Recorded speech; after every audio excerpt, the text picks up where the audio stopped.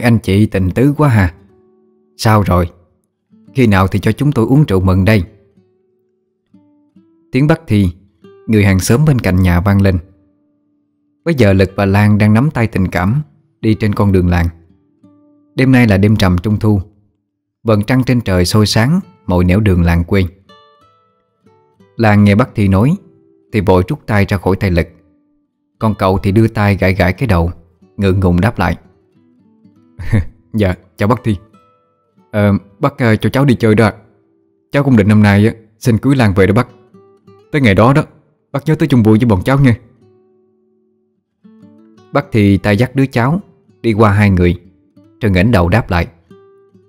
Ừ Bác chúc phúc cho hai đứa. Ôi trong cái làng này á Thì ai chẳng biết chúng mày là một cặp dính nhau như Sam. Nhanh đi. Bác vui ờ, mong có cháu nội bế lắm rồi đó. Thôi hai đứa đi chơi vui ha. Bác à, cho thằng Tèo ra ngoài sân đình phá cổ đã. Tạm biệt bà cháu bác Thi. Cả hai lại dắt nhau Dần theo con đường mòn.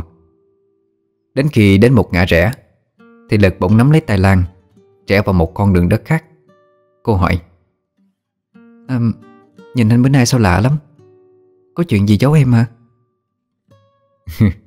Anh có một món quà muốn tặng cho em. Em cứ đi theo anh.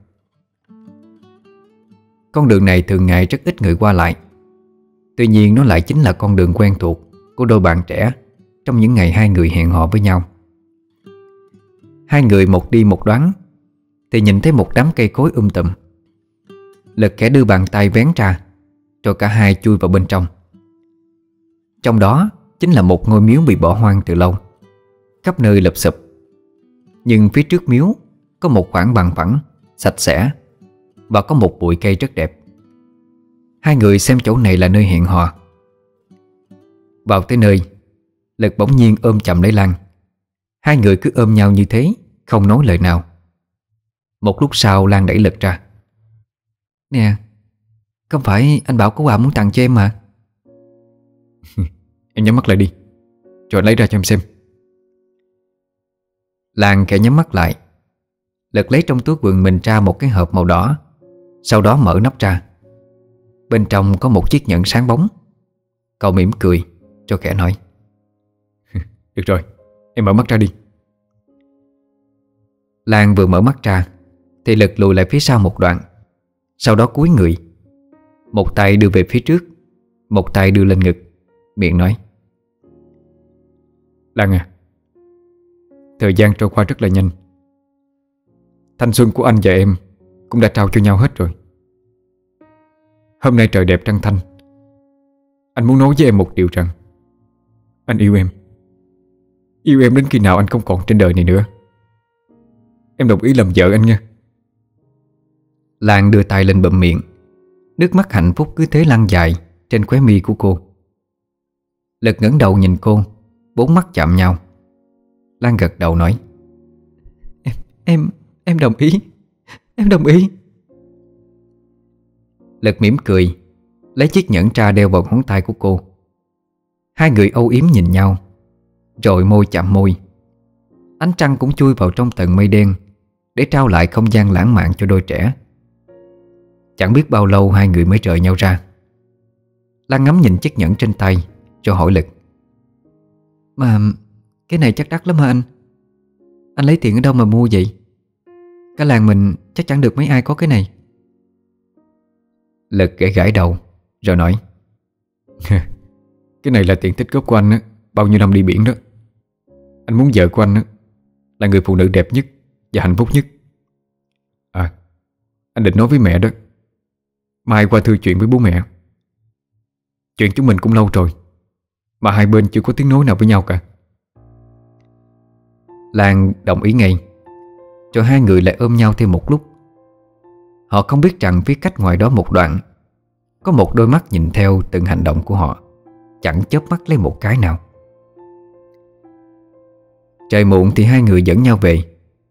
Đến cổng nhà Lan cô đi vào. Lực không quên kéo cô ôm một cái, Rồi mới chịu quay đi. Nhà cậu đi thêm một đoạn nữa.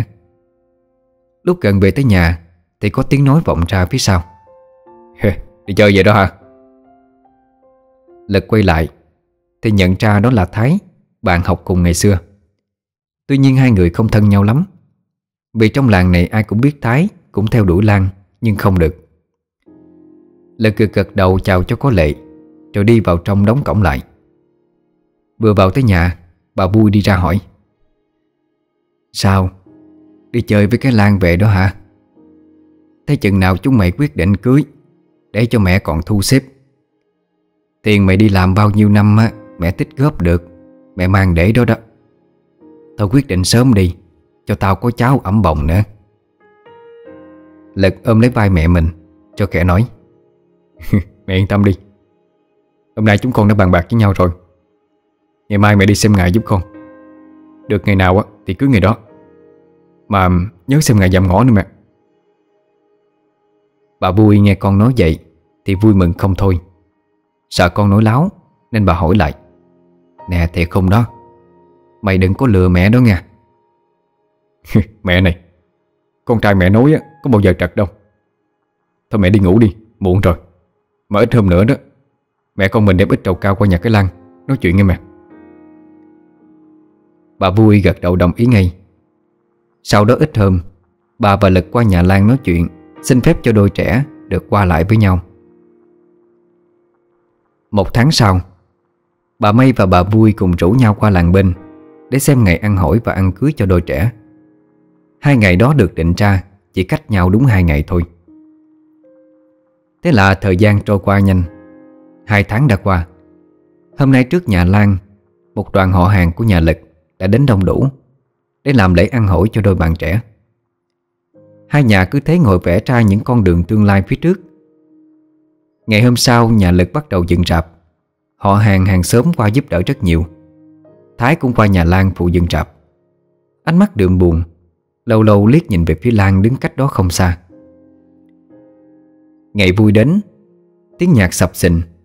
Lực và Lan sánh bước bên nhau, Đi lên hôn trường Tiếng treo họ chúc phúc vang vọng hôn trường Tiệc tàn thì mọi người ra về. Những câu chúc phúc cho đôi bạn trẻ Vẫn còn vang vọng ở khắp nơi. Lực đã có chút hơi men vào người. Cộng thêm ngày vui, Nên miệng lúc nào cũng cười không ngậm lại được. Tối đến, Hai người cũng vần bủ nhau một đêm. Một tuần sau cưới, Lực xin phép mẹ và vợ đi biển đi kiếm tiền.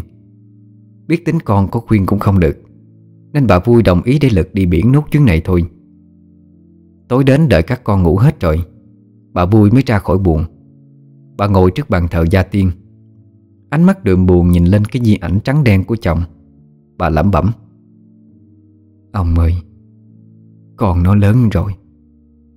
Có vợ như người ta rồi đó. Chân này nó đi xa. Ông Linh Thiên phù hộ cho con nghe ông. Rồi bà đứng lên chăm ba nén hương, Cắm lên trên bát hương. Tuy nhiên, hai trong ba cây Cháy được một nửa, Thì tắt ngúm đi.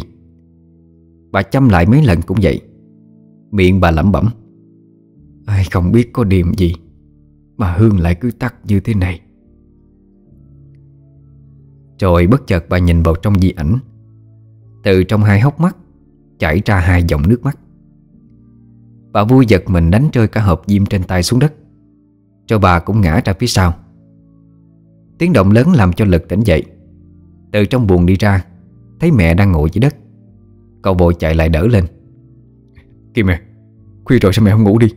Con ra đây làm gì để mình bị ngã như thế này? Vì ảnh của bố con Chảy nước mắt kìa. Có, có, có chuyện gì rồi con ơi? Mẹ thắp hương cho bố Xin bố phù hộ cho con đi tới nơi về tới chốn. Mà bức ảnh chảy nước mắt như vậy Chắc là bố không muốn con đi đó. Hay là đừng đi nữa con à. Mẹ lo lắm. Con nhìn kia kìa. Ba cây hương mà hai tắt một trái kìa con. Lực nhìn lên di ảnh của bố mình. Cái bức ảnh đen trắng, Chẳng còn có gì bất thường. Cậu nói, Chắc là mẹ nhìn lầm thôi. Bức ảnh có gì lạ đâu mà. Hương thì ờ, chắc nó bị ẩm thôi mà. Mẹ đứng đây, để con đốt cho. Nói rồi, Cậu lấy bao diêm Đứng lên ghế đốt lại hai que hương kia.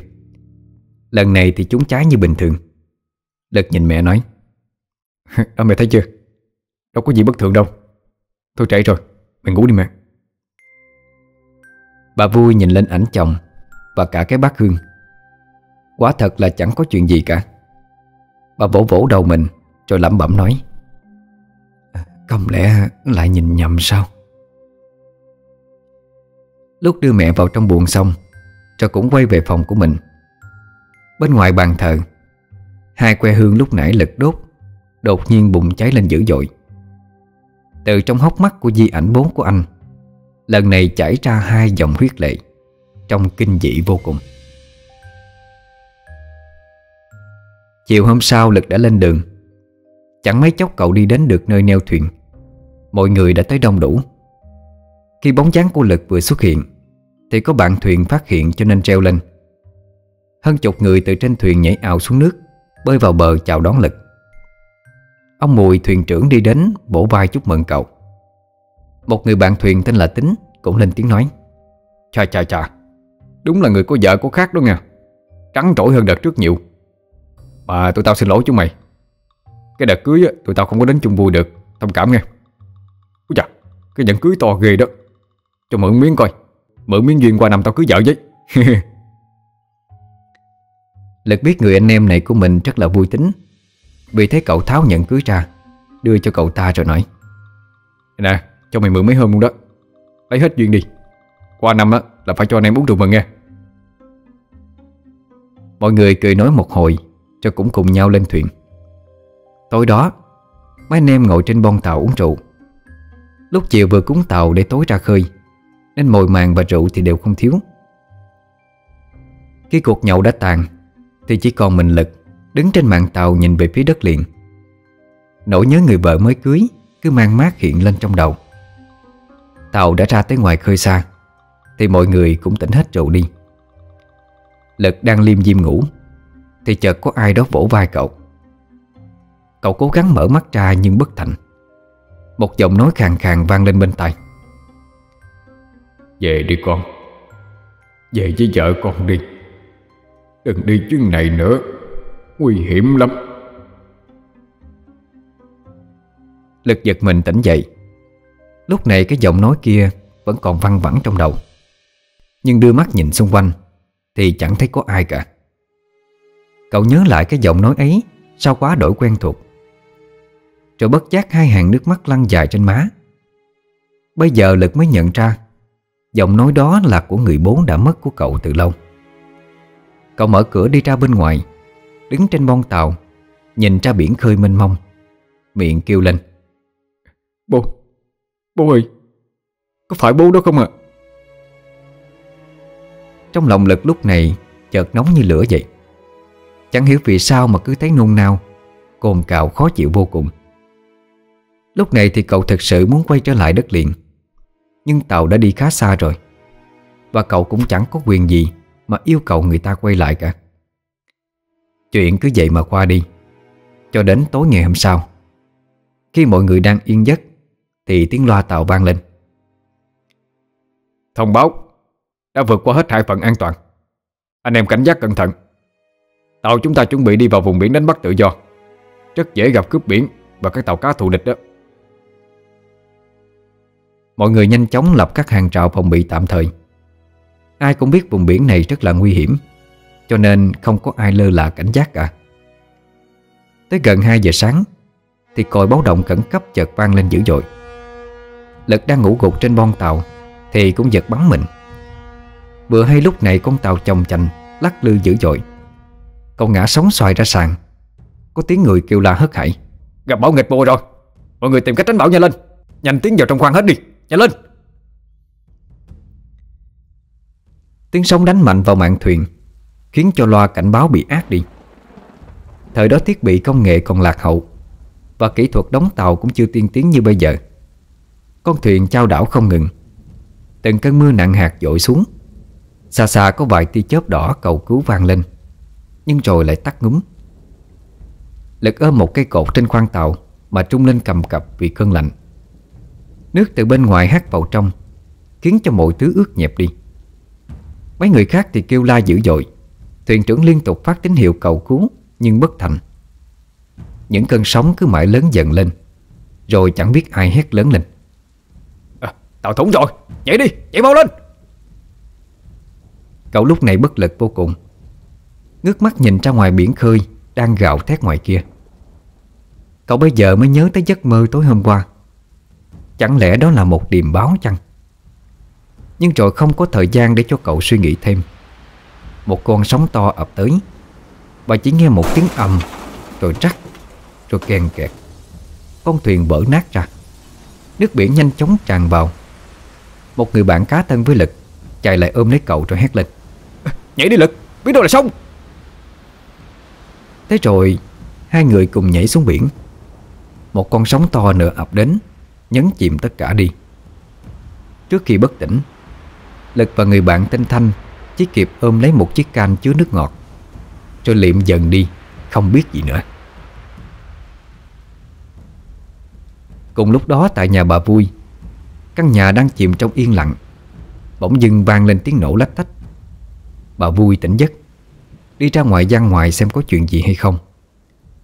Bát hương trên bàn thờ đang bốc cháy thêm một lần nữa. Cái tiếng lách chách lúc nãy Là tiếng bát hương rơi vỡ xuống nền nhà.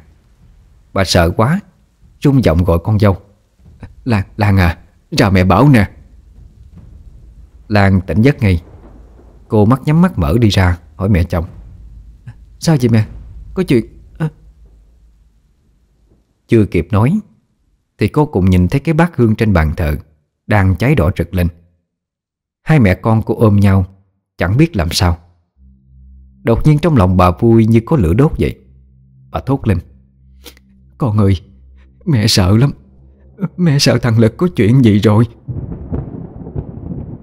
Hai mẹ con cứ đứng dưới bàn thờ Nhìn lên mà khóc không ngừng.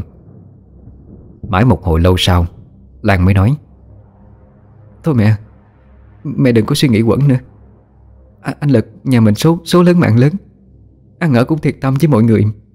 Chắc không có chuyện gì đâu. Mẹ đừng có nghĩ nhiều quá mà sinh bệnh. Nói xong, Cô dìu mẹ chồng lại bàn ngồi nghỉ ngơi. Còn cô thì đi dọn dẹp đống bát hương cho cát vỡ nát. Mà lòng thì cứ bồn chồn, Nhộn nhạo chẳng yên được.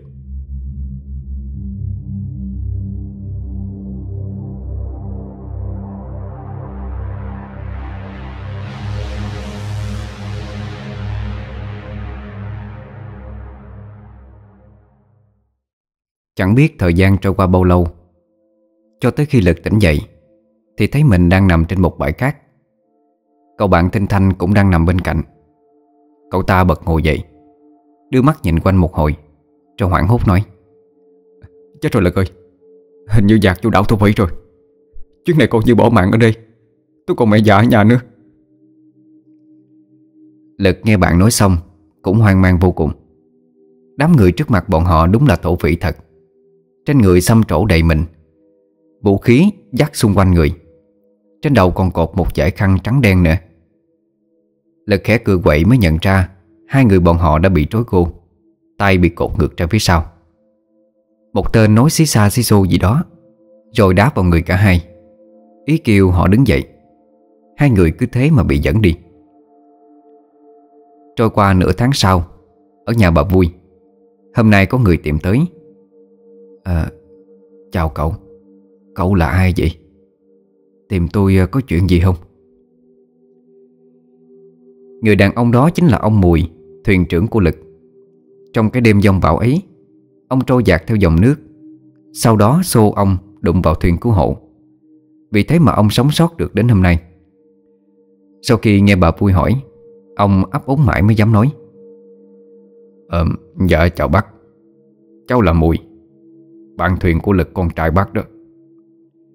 Hôm nay cháu đến đây Là để báo với bác một Một tin về cậu Lực. Ờ Sao? Chú có tin tức về con trai tôi hả? Nó sao rồi chú?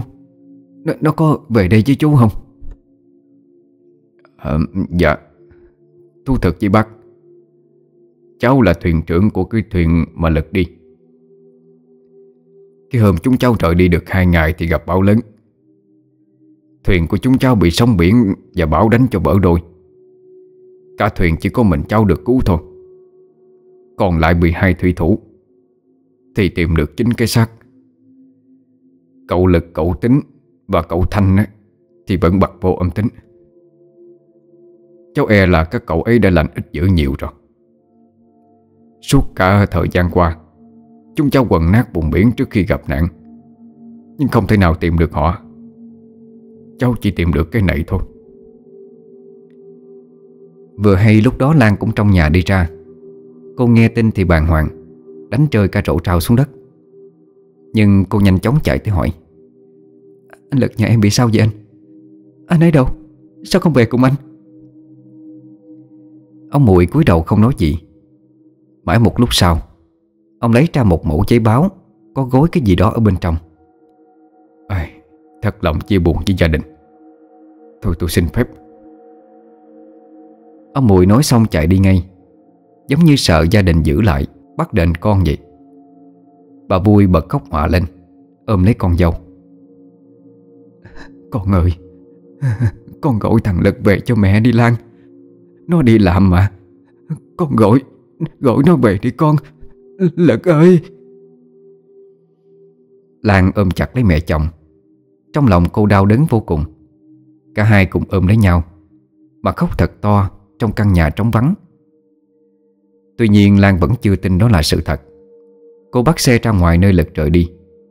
Hãy ở đâu có tàu thuyền về, Cô cũng đến để hỏi thăm tin tức của chồng. Nhưng tin tức cơn bão vừa qua Giết chết rất nhiều dân chạy. Không chỉ có một mình cô ra đây tìm chồng, Mà có hàng chục người vợ, Người mẹ Và cả người thân của họ nữa. Cũng đang ngày đêm mong ngóng tin con. Một tuần lê lết ngoài bãi tàu không có tin tức gì. Lan buồn bã quay về. Bà vui ốm liệt giường mấy hôm nay. Bà may mẹ của Lan phải túc trực bên này để chăm sóc cho bà.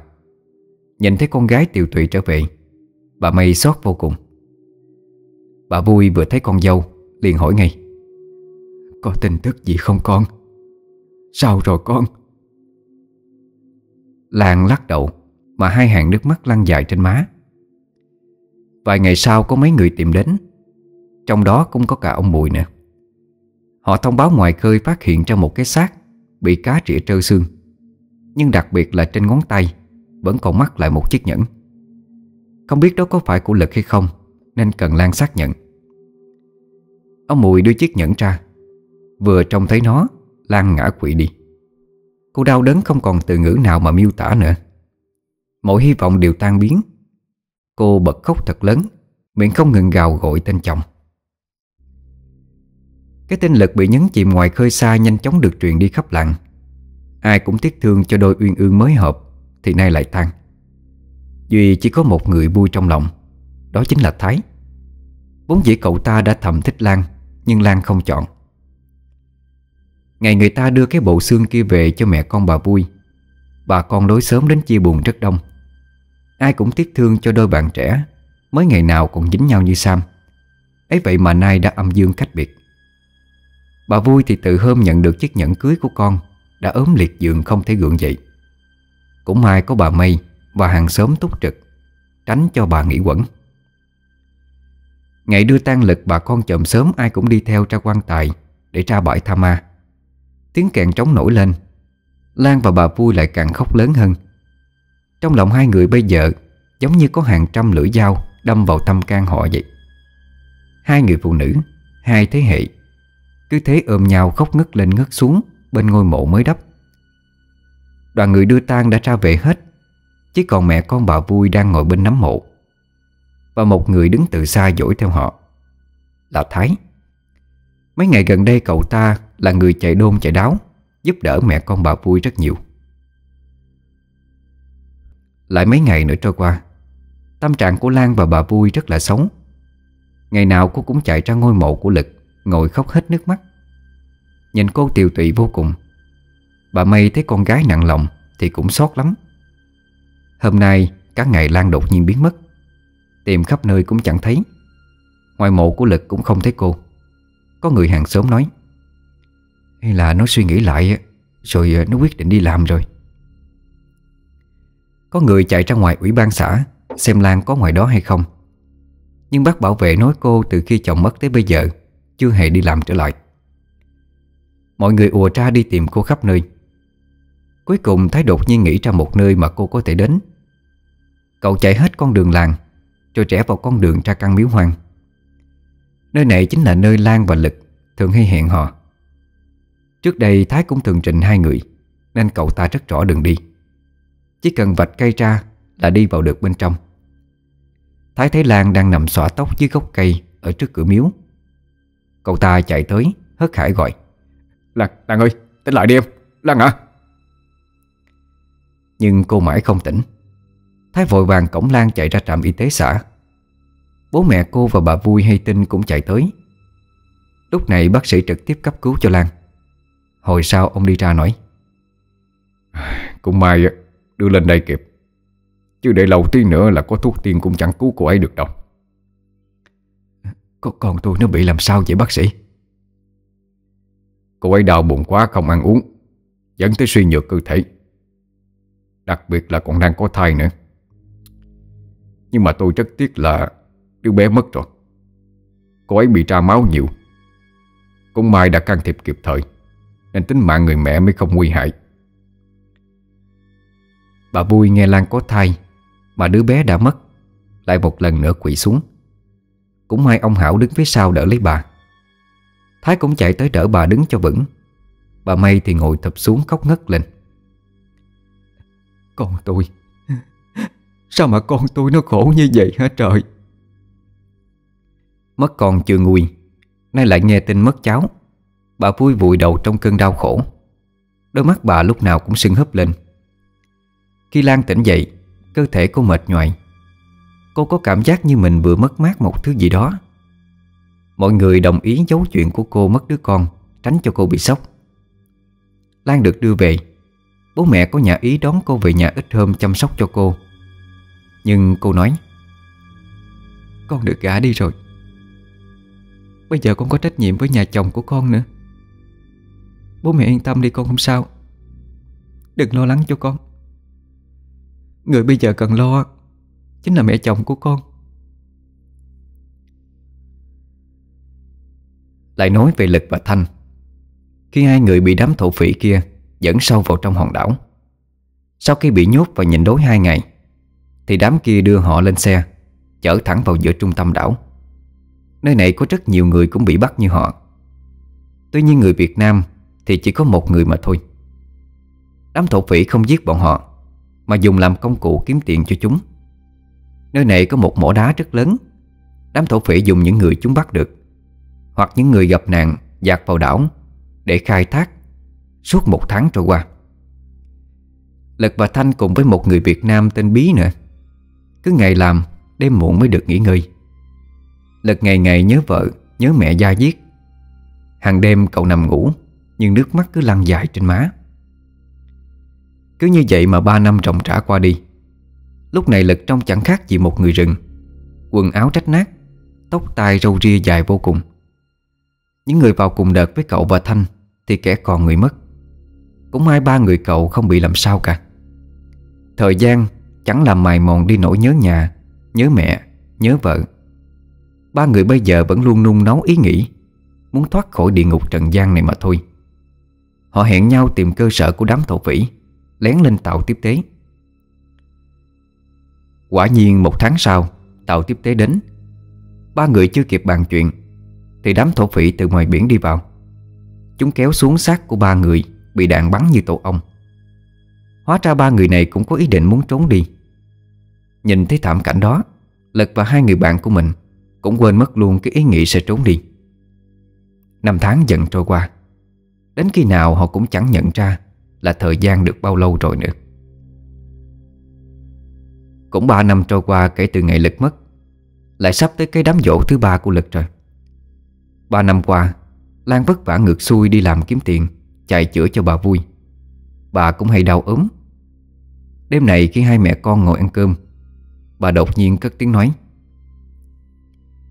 Lan à Mẹ nói với con cái này Thằng Lực nhà này cưới được con. Đó là cái phúc của nó. Nhưng nay cũng sắp dỗ ba năm của nó rồi con.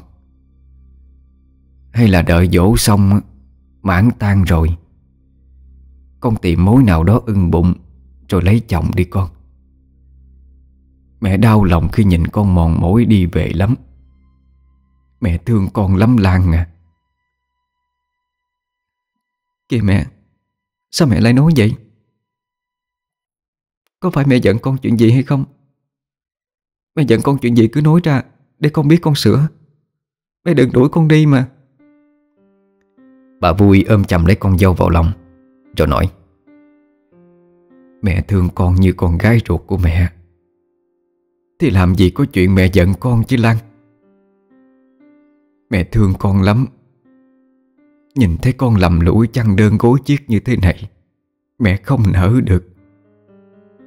Ba năm qua rồi, Thằng Lực nó cũng mất. Con quên nó đi con. Mẹ không trách con đâu.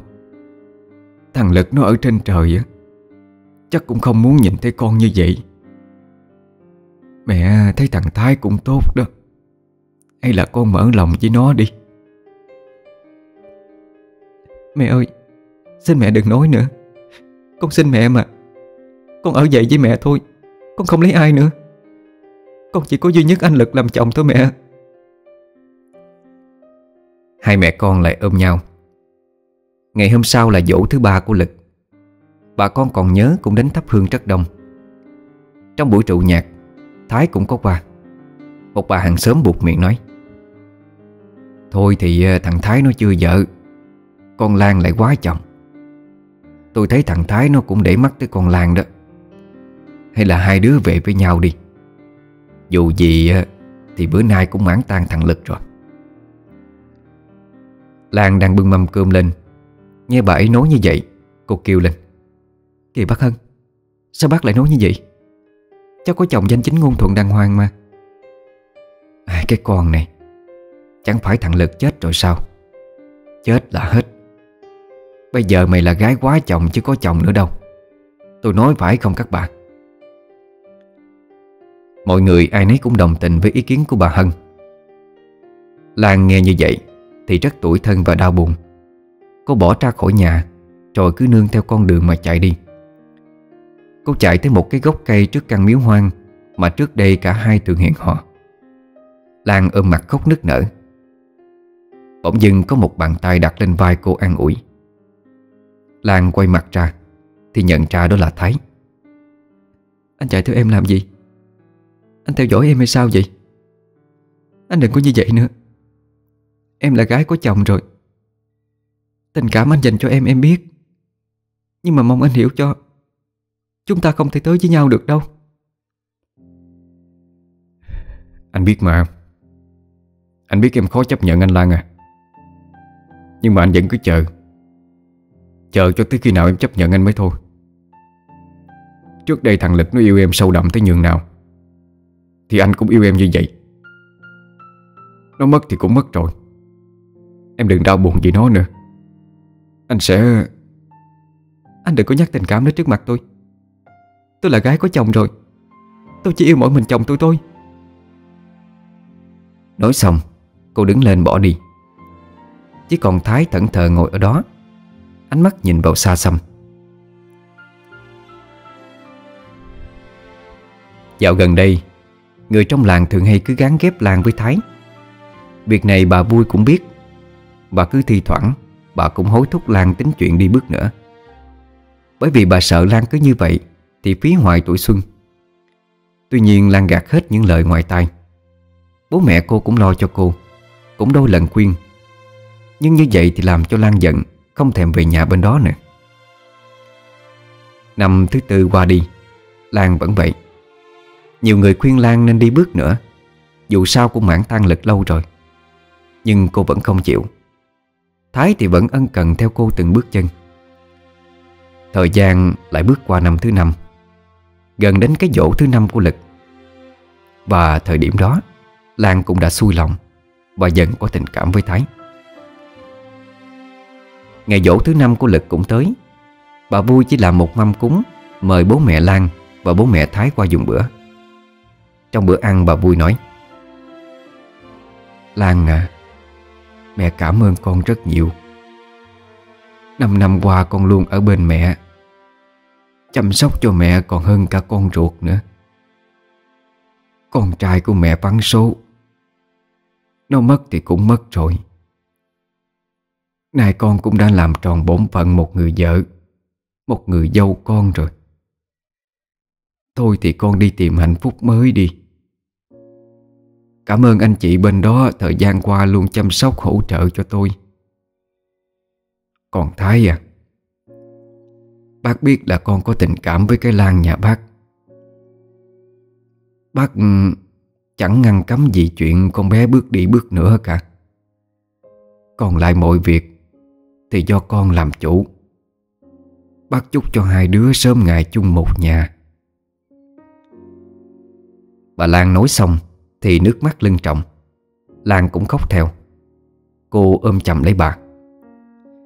Mẹ, mẹ ơi Con Bà vui chợt đưa tay bịt miệng Không cho cô nói tiếp.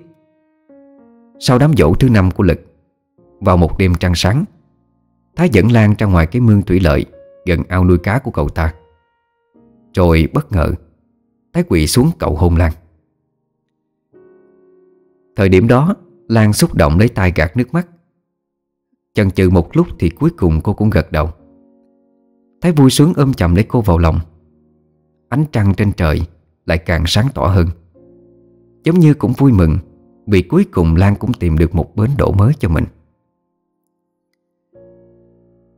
Còn Lực và Thanh thì bị giam cầm suốt 5 năm Ở trên hòn đảo kia. Hai người bây giờ, Nếu cho ra ngoài thế giới, Thì chắc chẳng ai cho rằng họ là người cả. Đèn đúa Khuôn mặt lúc nào cũng dính một lớp đất dày cộp. Quần áo thì tả tơi, Trâu ria rậm rạp như người rừng vậy. Tối nay sau một ngày dài mệt nhoài, Cả hai người mới về tới láng trại. Thanh nằm xoài xuống đất mà thở dài, Ánh mắt đượm buồn. Lực cũng nằm cạnh bên. Trên tay cầm miếng bánh bằng bột gạo khô khốc, Bốc lên cái mùi ẩm mốc khó chịu. Nhưng vẫn phải cố gắng mà ăn. Vì đây chính là thức ăn mà cậu ăn suốt mấy năm qua. Bỗng dưng Lực hỏi Thanh.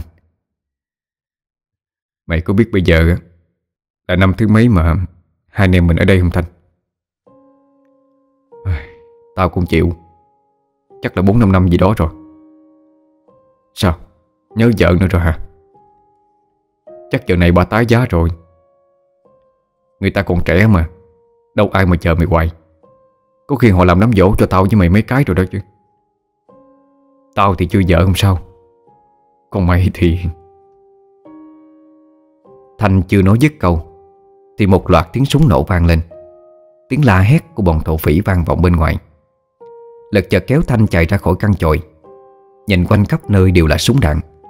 Ánh lửa đỏ trực. Những người khác cũng chạy tán loạn, Chẳng hiểu chuyện gì. Ông Bí từ đâu đó hớt hải chạy tới nói. Chạy nhanh ra hướng biển đi. Quân đội Philippines phát hiện ra bọn thổ phỉ, Nên đưa lính tới càn quét. Chạy mau, Không trâu bò đánh nhau Trùi mũi chết bây giờ. Nghe thấy thế, Lực và Thanh vô cùng mừng trở và sợ hãi. Đây có thể là cơ hội thoát khỏi ngục tù tâm tối này. Cả ba liền chạy nhanh ra hướng biển. Họ không chạy thẳng, Mà len lỏi qua những đám rừng rậm Tiếng súng, Tiếng nổ đinh tai nhức óc vang lên. Đến hơn nửa đêm thì ba người mới mò ra được khỏi khu rừng. Lúc này thì một đám lính đi tuần phát hiện ra ba người, Mà bao vây lại. Ông Bí nói một tràng tiếng Philippines. Thanh và Lực thì trố mắt nhìn. Một lúc sau Thì hình như có một người là chỉ huy đi tới. Cuối cùng thì ba người được cho cắt tóc gọn gàng, Thay quần áo mới, Rồi đưa về nơi tập kết quân. Họ không bị nhốt, Nhưng có người canh gác, Được cho đồ ăn và thức uống. Đến sáng sớm thì quân đội càng quét thổ phỉ trở về, Dẫn theo một đám tù binh Và giải cứu hàng trăm người bị bắt.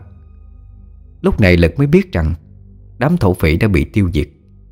Quân đội tiếp quản, Bọn họ được đưa lên thuyền. Chiếc thuyền rời đi chỉ với một toán lính, còn lại ở lại tiếp quản hòn đảo.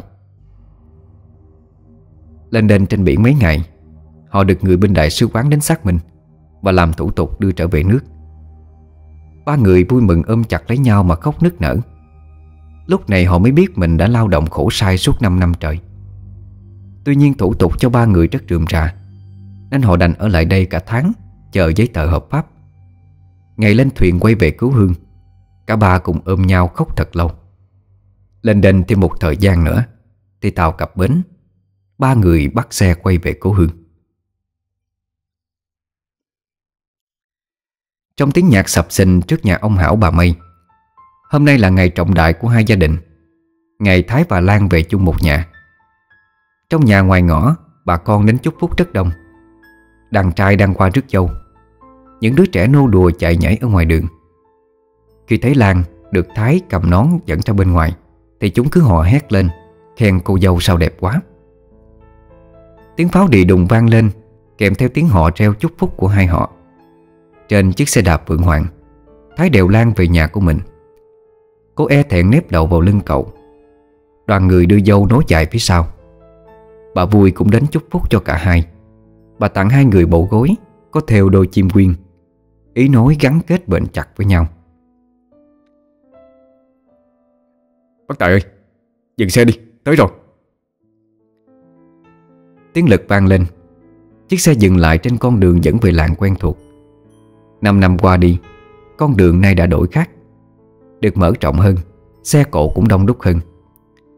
Lực xin đi nhờ xe một người đàn ông Quay về làng. Ông ấy hỏi Ủa, nhà cậu ở đâu? Sao tôi thấy mặt lạ vậy? Mấy cái làng trong này tôi đi qua mòn hết lớp xe rồi đó. Dạ, cháu ở làng Lại Nhu đó bác. Cháu là con của bà Vui, bố Toản á. Người đàn ông đang đi Bỗng thắng xe cái kích lại Quay mặt qua nhìn lực một lượt. Rồi ngạc nhiên nói ừ, Con bà Vui sao? Bà bà ấy có một đứa con trai duy nhất Chết trên biển 5 năm rồi mà. H Hay là cậu là con rơi hả? Bác cứ đùa cháu. Cháu đang sống sợ sợ ra đây nè. Năm năm trước cháu bị đắm thuyền. Rồi bị thổ phỉ bắt đi khai thác đá ở đảo hoang. Gần 2 tháng trước mới được quân đội Philippines cứu ra. Nay cháu mới về đây được đó bác. Người đàn ông tiếp tục chạy xe Vừa đi vừa nói. Chà, nghe giống như phim vậy đó. Thế mà tao cứ tưởng mày chết rồi. Năm năm trước tao còn ghé qua nhà đi đám tang của mày đó.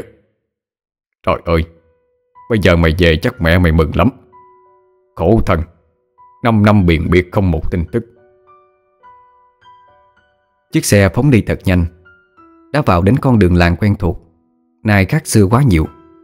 Từ bên ngoài Lực nhìn thấy một dải ao cá dài. Đi vào một đoạn nữa Cậu vỗ vai người đàn ông nói Ờ, bác ơi Bác cho cháu xuống Nhà cháu đây rồi. Xích chút nữa thì đi qua mất tiêu. Mời bác vô nhà cháu uống ly nước à Người đàn ông xin cứu khi khác Rồi phóng xe vụt đi. Có người hàng xóm đi ra Thấy Lực thì hét toán lên Trời trời ơi Lực Mày còn sống hả Lực? Lực gật gật đầu. Người hàng xóm càng la to hơn nữa. À, Trời ơi bà con làng xóm ơi! Thằng Lực nó còn sống! Thằng Lực nó còn sống nè! Lực chào mấy bác rồi đi vào nhà. Lúc đó bà Vui đang cầm cùi ở dưới bếp. Lực đi vào tạo ra tiếng động. Bà Vui không nhìn lại Mà lại lên tiếng. Cái làng hay ai đó? Hay lại mấy con gà vào đây phá phách nữa? Mẹ con của mẹ về đây. Bà Vui bỗng đứng im như tượng. Cây đũa bếp trên tay rơi xuống cái đột Bà quay người lại. Dường như bà không tin vào mắt mình nữa. Nước mắt của bà cứ tự dưng Mà lã chả rơi ra. Đôi bàn tay đưa lên, Trung trung tiến gần tới mặt lực. Giống như bà đang nghĩ rằng đây chỉ là một cơn ảo giác. Lực nhanh chóng nắm lấy tay mẹ mình, Ôm chầm bà vào lòng. Rồi khóc lớn như một đứa trẻ con. Mẹ ơi Con về với mẹ rồi nè. Mẹ ơi con bất hiếu. Năm năm qua con đi biền biệt. Chắc mẹ buộc và lo cho con lắm. Ông ơi Ông về mà coi nè. Nó còn sống ông ơi. Con trai về với tôi rồi nè ông. Lật, lật nga. Lúc này hàng xóm nghe bác gái khi nãy la hét thì cũng chạy qua. Họ vào trong thấy hai mẹ con bà vui đang ôm nhau mừng mừng tuổi tuổi. Thì ai cũng nói lớn Ôi trời ơi, Thằng Lực còn sống. À đúng là thằng Lực rồi. Nó còn sống trở về rồi. Người chết trở về bà con ơi. Một người la to, Rồi cả chục người nói lên. Chẳng mấy chốc mà cái tin tức Lực còn sống trở về Lan truyền đi khắp làng. Nhiều người kéo đến Bà vui thì mừng quá cứ nắm chặt lấy tay con. Hàng xóm cũng chia vui khá là đông. Ai cũng muốn biết lý do vì sao Năm năm qua Lực bạc vô âm tính như vậy. Cậu chưa kể chuyện xảy ra với mình Mà sực nhớ ra điều gì đó Hỏi bà vui Mà cái Lan vợ con đâu rồi mẹ? Bà vui lúc này tắt hẳn nụ cười trên môi. Hàng xóm cũng chợt lặng thinh. Bà lại khóc nói Sao mà ông trời Trêu tụi nhỏ như vậy chứ ông? Bây giờ tôi biết phải sống làm sao đây.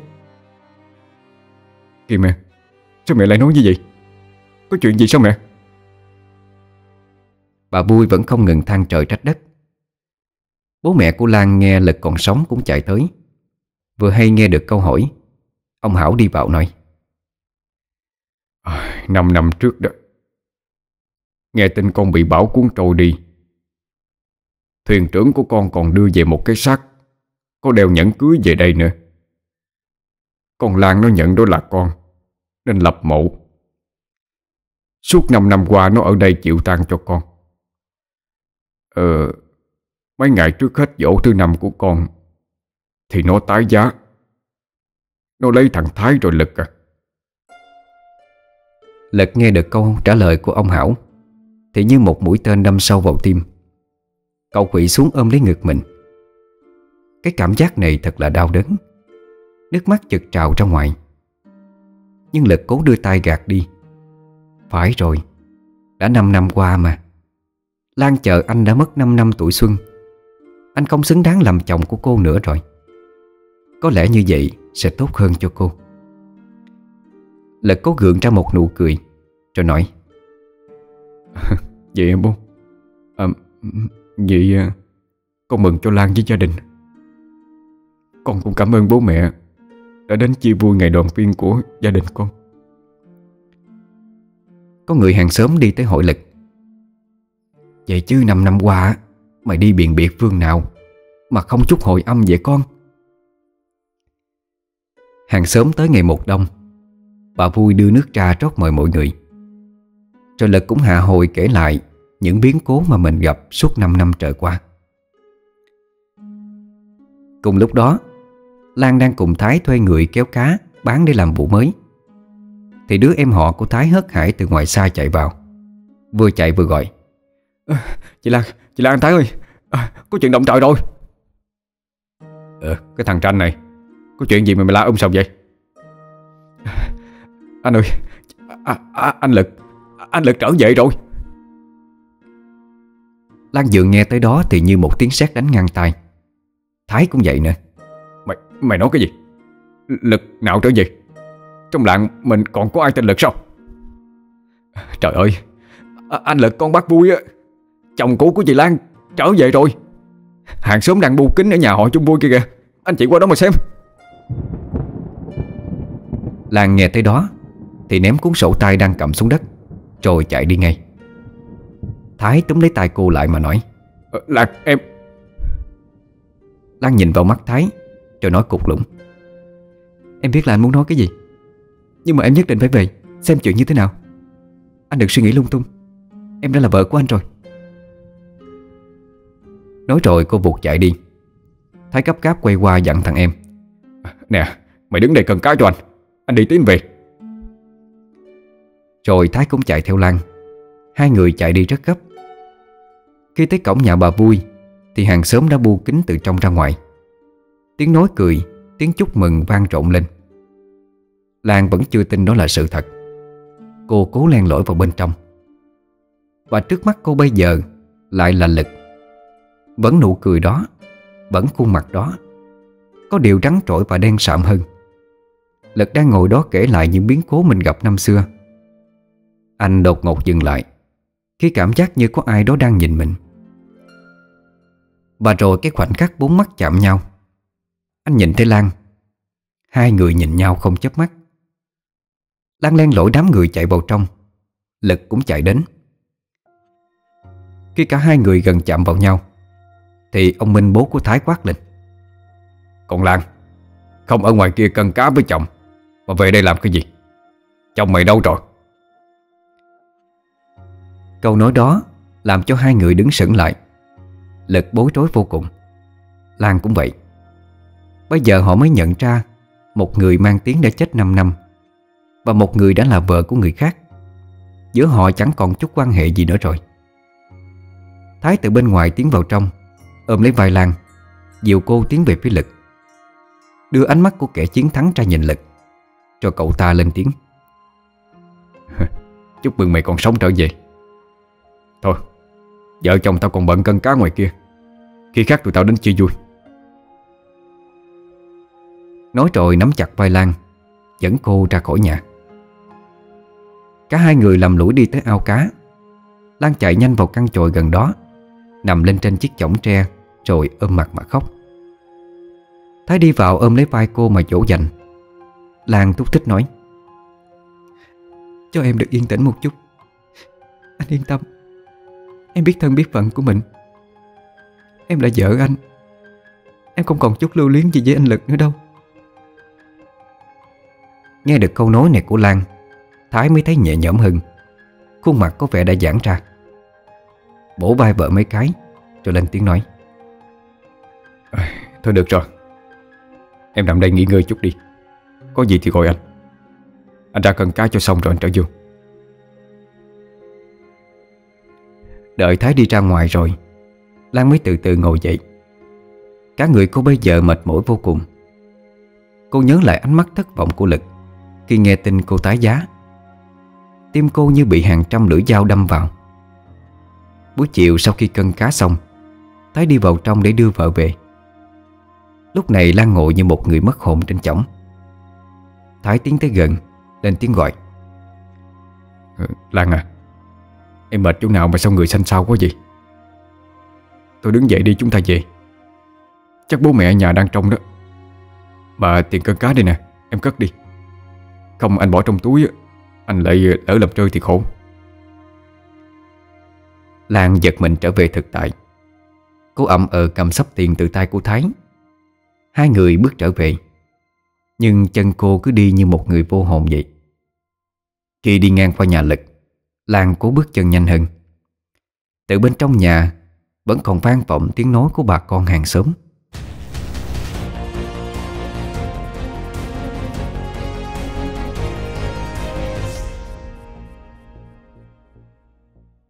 Cái tin Lực trở về Sau 5 năm được lập mộ. Lan truyền từ làng này qua làng khác. Bạn bè của cậu trước đây Và mấy người hiếu kỳ đến rất đông. Ông Minh thấy vợ chồng con trai về.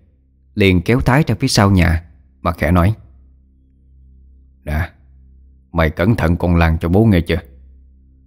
Chứ tao thấy cái mặt nó nhăn nhúm Tao khó chịu lắm. Dù gì nó cũng làm dâu nhà này rồi. Mày xem khi nãy ở nhà thằng Lực, Nếu không có tao với mày ở đó, Chắc chúng nó lại ôm nhau mất rồi. Bố nói như vậy thôi, Mày xem quản vợ mày lại. Bây giờ thằng Lực về rồi Chúng nó kiểu gì cũng chạm mặt nhau. Không khéo lại mèo mã gà đồng. Tao trước giờ đã không thích mày lấy nó rồi. Thái nghe bố nói thì giận tím mặt. Cậu vùng vàng nói lại với ông Minh mấy lời. Sau đó tuyên bố, Ai mà nhắc lại chuyện của Lực với Lan nữa, Thì cậu sẽ ra ở riêng. Bên nhà Lực khách khứa đến chúc mừng không ngớt. Thậm chí có người chẳng thân quen gì. Nghe tin cậu sống Cũng đến chia vui. Cậu tiếp khách từ khi về cho đến tối muộn Mới được nghỉ ngơi. Chính tay cậu thắp lên bàn thờ gia tiên mấy nén hương. Những que hương cháy đỏ trực lên, Giống như ông bà cũng vui mừng. Từ trong di ảnh của bố, Lực như nhìn thấy ông đang mỉm cười vui sướng vậy. Bà vui ngồi ở ghế nhìn con trai. Đứa con trai của bà đã trưởng thành thật rồi. Tuy nhiên bà lại buồn phiền về chuyện của cái Lan. Chính bà mấy tháng trước khuyên Lan nên đi bước nữa. Chính bà cũng đã tin rằng con trai của mình đã chết đi. Lực thắp hương xong, Nhìn thấy mẹ tần ngần Thì lên tiếng hỏi. Kìa mẹ, Sao mẹ lại ngồi tần ngần vậy? Muộn rồi mẹ vào nghỉ ngơi đi. Con về rồi, Mẹ đừng lo nữa. Đưa mẹ vào trong buồng nghỉ ngơi. Lúc này Lực mới một mình đi ra cổng, Rồi đi dạo trên đường làng.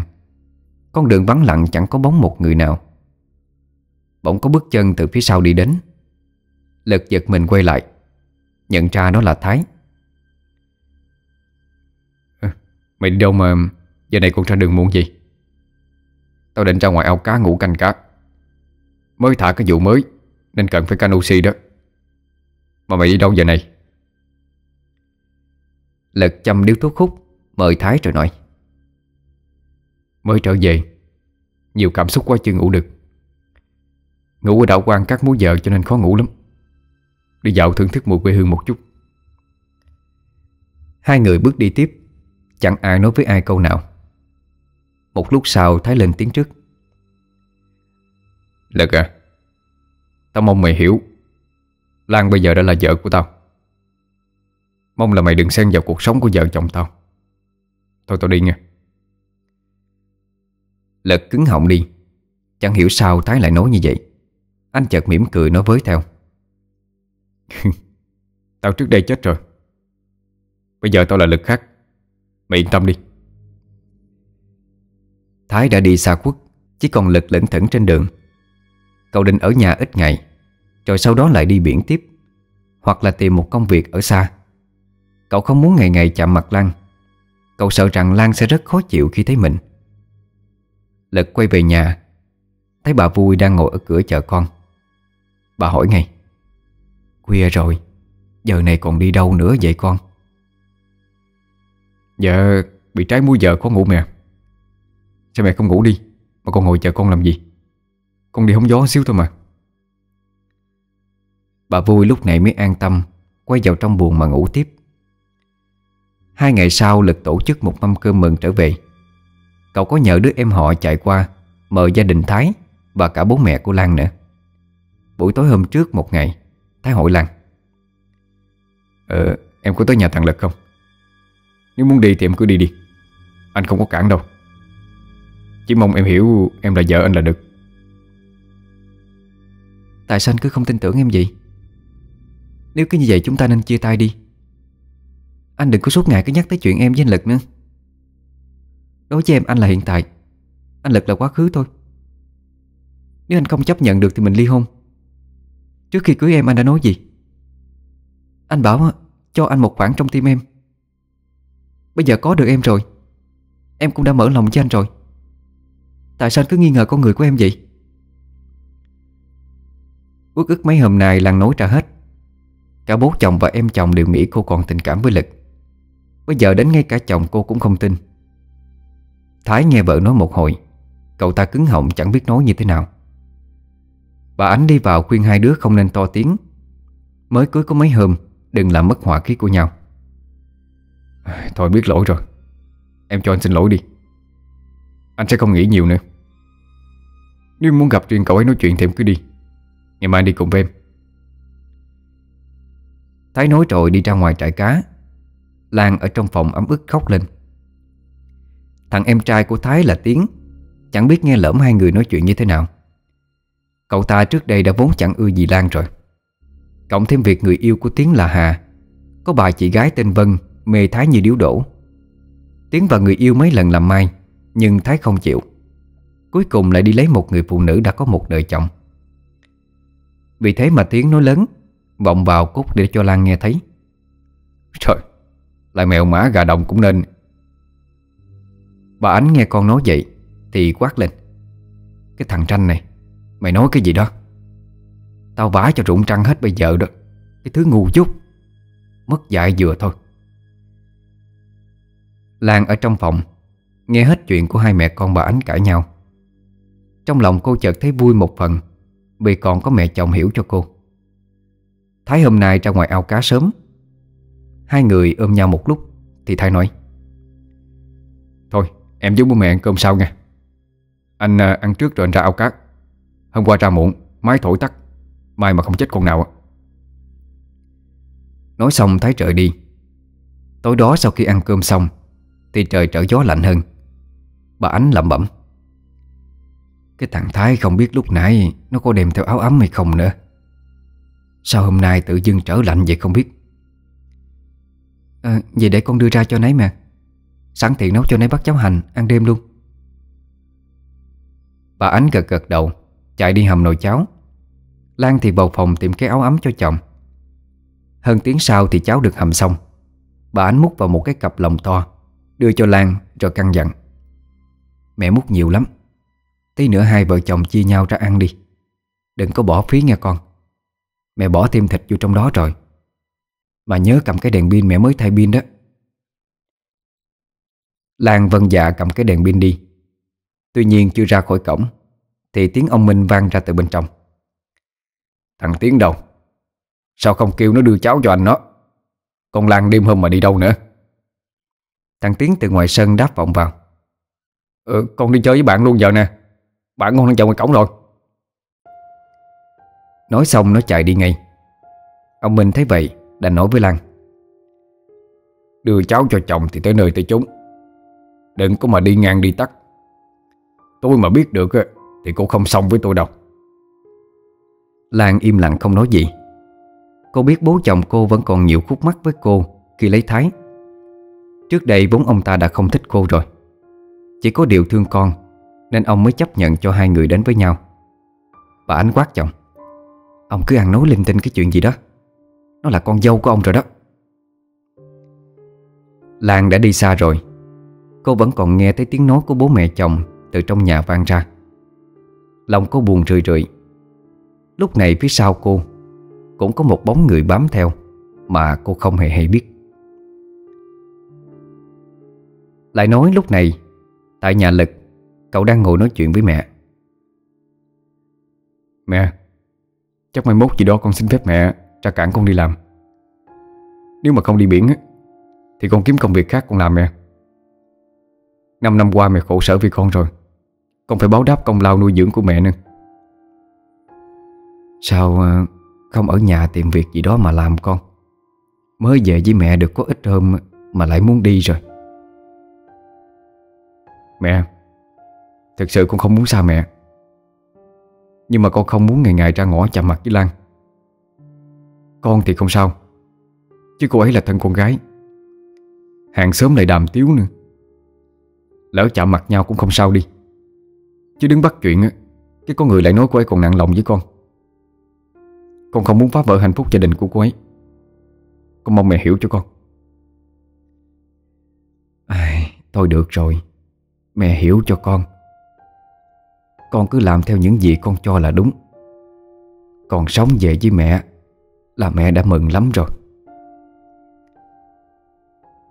Lật chặn mẹ đi ngủ. Con cậu thì lại đi dạo ở ngoài đường làng. Vừa hay gặp lúc Lan đang đi đến. Cậu lên tiếng chào. Em đi đâu mà giờ này à, ngoài đường gì Dạ em đưa áo ấm với cháu cho anh Thái Ở ngoài ao cá. Anh chưa nghĩ sao ạ? Sao giờ này còn ra ngoài? Hai người song song bước đi. Tuy nhiên giữ khoảng cách khá xa. Lực vừa đi vừa nói. Ừ Anh về đây bị lạ chứ Anh khó ngủ lắm. Đêm nào cũng phải đi dài vòng ngoài đường Thì mới về ngủ được. Hai người đi tới con đường trở vào cái miếu hoang trước đây Thường hẹn hò. Chẳng hiểu sao Lực buộc miệng nói. Lan à Em có thể vào kia nói chuyện với anh một lúc được hay không? Chỉ một lúc thôi. Mai hay ngày kia Anh cũng đi rồi. À, Anh định đi đâu? Ừ, Anh muốn kiếm việc làm. Muốn rời xa nơi này. Anh không muốn ngày ngày đây chạm mặt với em. Gây khó xử cho em nữa ừ, Chỉ một chút thôi anh nha. Chúng ta nói chuyện nốt đêm nay. Ngày mai chúng ta quên hết những gì của quá khứ đi. Phía xa Có hai người lầm lũi theo dõi từng cử chỉ của họ. Người đó lẩm bẩm. Anh biết ngay mà. Nói có sai đâu. Kiểu gì chẳng mèo mở gà đồng. Hai người kia cứ bám theo đuôi Lan và Lực Đi sâu vào bên trong. Rồi Lực và Lan vạch đám cây rậm Đi vào bên trong. Đến chỗ cái gốc cây mà trước đây hai người thường hẹn hò, Thì cảm xúc của Lực bỗng dưng dâng trào lên. Mùi hương cơ thể của Lan vẫn giống như trước đây, Nó cứ quyện vào mũi. Lực nhìn Lan không chớp mắt, Nhưng cuối cùng Lực cũng gạt bỏ được cảm xúc trong đầu mình. Cậu mở lời trước. Cảm ơn em rất nhiều. Năm năm qua em luôn chăm sóc cho mẹ anh. Anh thật là tồi tệ. Biện biệt suốt 5 năm, Đánh mất hết cả tuổi xuân của em rồi. Lần này anh về thấy mọi người vẫn còn ổn. Anh vui lắm. Anh cũng chúc phúc được cho em Được hạnh phúc bên Thái. Chuyện chúng mình anh xem như dĩ vãng rồi. Em cứ xem như anh Đang nằm ở cái nấm mộ kia đi.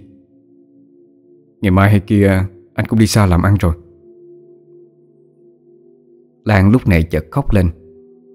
Cô bỗng ôm chầm lấy lực. Miệng cô không ngừng trách. Tại sao anh không về sớm hơn? Tại em vội lấy chồng. Nếu không tại lỗi của em Thì chúng mình đoàn viên rồi. Đều là lỗi của em cả. Lực lúc này cũng không kiềm nén cảm xúc nữa. Cậu cũng ôm chặt lấy Lan. Rồi khi bờ môi hai người đưa đến gần nhau Tuy nhiên May mà Lực còn ý chí Anh đẩy Lan ra Rồi nói anh xin lỗi. Chúng ta không nên như vậy nữa. Thôi chuyện cần nói anh đã nói xong rồi. Anh chúc phúc cho em. Chúc cho em và Thái trọn đời bên nhau. Đến đầu bạc trăng lông Thời gian không còn sớm nữa. Em đưa đồ ra cho chồng đi. Anh ra trước. Em hãy ra sau, Kêu người ta thấy lại không hay. Hai người theo dõi, Đột nhiên vội vã bỏ đi. Lật dứt khoát không lưu luyến nữa. Anh cũng đứng dậy đi khỏi. Lật đi được khá lâu, Chỉ còn một mình Lan ngồi bên gốc cây. Hai hàng nước mắt cô chảy dài trên má. Cũng may lúc nãy Lật kiềm chế bản thân, Cho nên hai người không làm chuyện gì quá đáng. Không gian đang yên tĩnh, Bỗng dưng bị phá tan Bởi tiếng của con chim lợn kêu lên. Tiếng chim kêu làm cho Lan giật mình đánh thoát. Cô vội vàng rời khỏi chỗ ngồi, Rồi chui ra ngoài để đi ra ao cá với Thái. Khi cô vừa ló đầu ra, Thì thấy ba người đã đứng ở trước mắt. Lan giật mình định há miệng ra nói, Thì mặt cô bỗng nhiên nóng rát. Những cú tác như trời giáng của ba người kia Cứ giáng thẳng vào mặt cô, Khiến cho Lan không kịp trở tay. Cái cặp lòng cháo trên tay rơi xuống đất, Cô cũng ngã lăn ra. Những người kia vẫn chưa chịu dừng tay Mà không ngừng đánh Lan không kịp kêu lên. Chân thì đá vào người cô. Đập chết cha nhà mày. Cái loại lẳng lơ. Lan bị đánh đau quá, Không còn sức chống cự. Giọng nói cũng bị biến mất. Khi người kia đã dùng tay chặt mạnh vào cổ cô một cái. Máu miệng chảy ra hai bên khóe môi. Đầu óc cô mơ hồ đi. Rồi một vật gì đó rất cứng đập vào đầu Lan. Cô nằm vật ra đất, Giật giật lên liên hồi. Có hai người sợ quá đứng trung trung tại chỗ.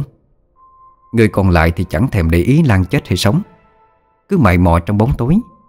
Sau đó kéo Lan vào lại bên trong miếu hoàng, Kéo đến cái gian quất ở phía sau Cỏ cây bít lối. Sau đó treo cổ Lan lên cái vách tường bên trong. Sau khi thực hiện xong tội ác của mình Ba người vội vã rời đi Lầm lũi quất dần trong màn đêm. Sáng hôm sau Thái tử ao cá trở về. Lây hoay mãi không thấy vợ Nên xuống bếp tìm bà ánh. Ủa mẹ Vợ con đâu rồi? Ủa? Chứ tối qua nó đưa cháu ra ngoài ao Với cả áo ấm cho mày mà. Sáng thấy mày về á Mẹ tưởng nó đi vô phòng cất đồ rồi chứ. Cho mẹ đi chợ về Quên khuấy đi mất không có hỏi. Nghe thấy mẹ nói khi tối Lan đi đưa cháu cho mình. Cậu ta hốt hoảng kêu lên. Trời ơi Mày bảo cái Lan đi đi tối hả? Cả tối hôm qua con ngoài ao Có một mình là làm gì có ai đâu Con có gặp vợ con đâu. Cháu cũng không có Áo ấm cũng không. Vậy rốt cuộc vợ con đi đâu chứ? Bà Minh cũng phát hoảng lên. Ông Minh thả bát cơm xuống bàn Quát ầm lên. Ờ bà thấy chưa? Giờ thì bà sáng mắt ra chưa? Tối qua tôi đã răng đe rồi. Ấy vậy mà nó cũng không thèm ra chỗ chồng của nó. Đúng là cái thứ hư đốn mà. Lúc này Thái đã chạy qua nhà ông Hảo bà Mây Cậu gọi cửa dồn dập. Bà Mây từ trong nhà đi ra Thấy con trệ tới Thì mở cổng. Ủa Thái đó hả con? Có chuyện gì mà nhìn vội vàng vậy? Nè vô nhà ăn cơm với bố mẹ luôn đi. Dạ thôi Mẹ, mẹ cho con hỏi Lan có gì nhà không ạ? À đâu có. Mấy hôm nay nó có về đâu. Sao đó? Hai vợ chồng lại cãi nhau hả? Chắc nó tới nhà bạn ngồi thôi. Tối nó lại về đó mà không mẹ ơi. Cô ấy đi từ tối qua tới giờ chưa thấy về Con sợ có chuyện gì rồi mẹ. Khi tối con ngoài ao cá Cô ấy đưa cháu ra cho con mà Đâu có thấy đâu. Bây giờ con về nhà Con mới biết cho, cho nên chạy đi tìm nè. Thôi, thôi, thôi con về cái đó.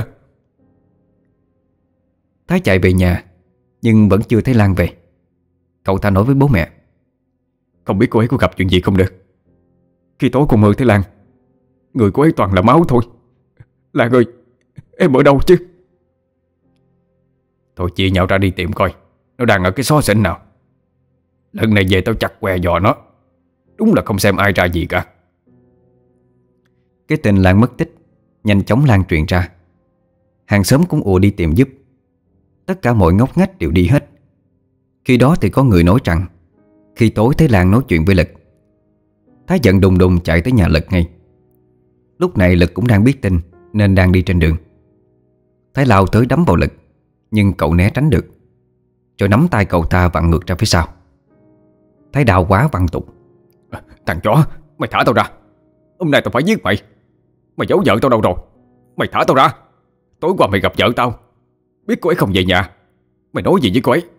Mà mày giấu cô ấy ở đâu? Mấy người hàng xóm cũng chạy ra can hai người lại. Thái vẫn không ngừng chửi Lực. Nhưng Lực ở một bên Chỉ nói mấy câu Đúng là tối qua tao có gặp Lan. Nhưng tụi tao chỉ nói xả giao vài câu, Rồi tao đi về. Còn cô ấy đi đâu thì làm sao tao biết được? Vợ mày mày không biết, Sao lại qua hỏi tao?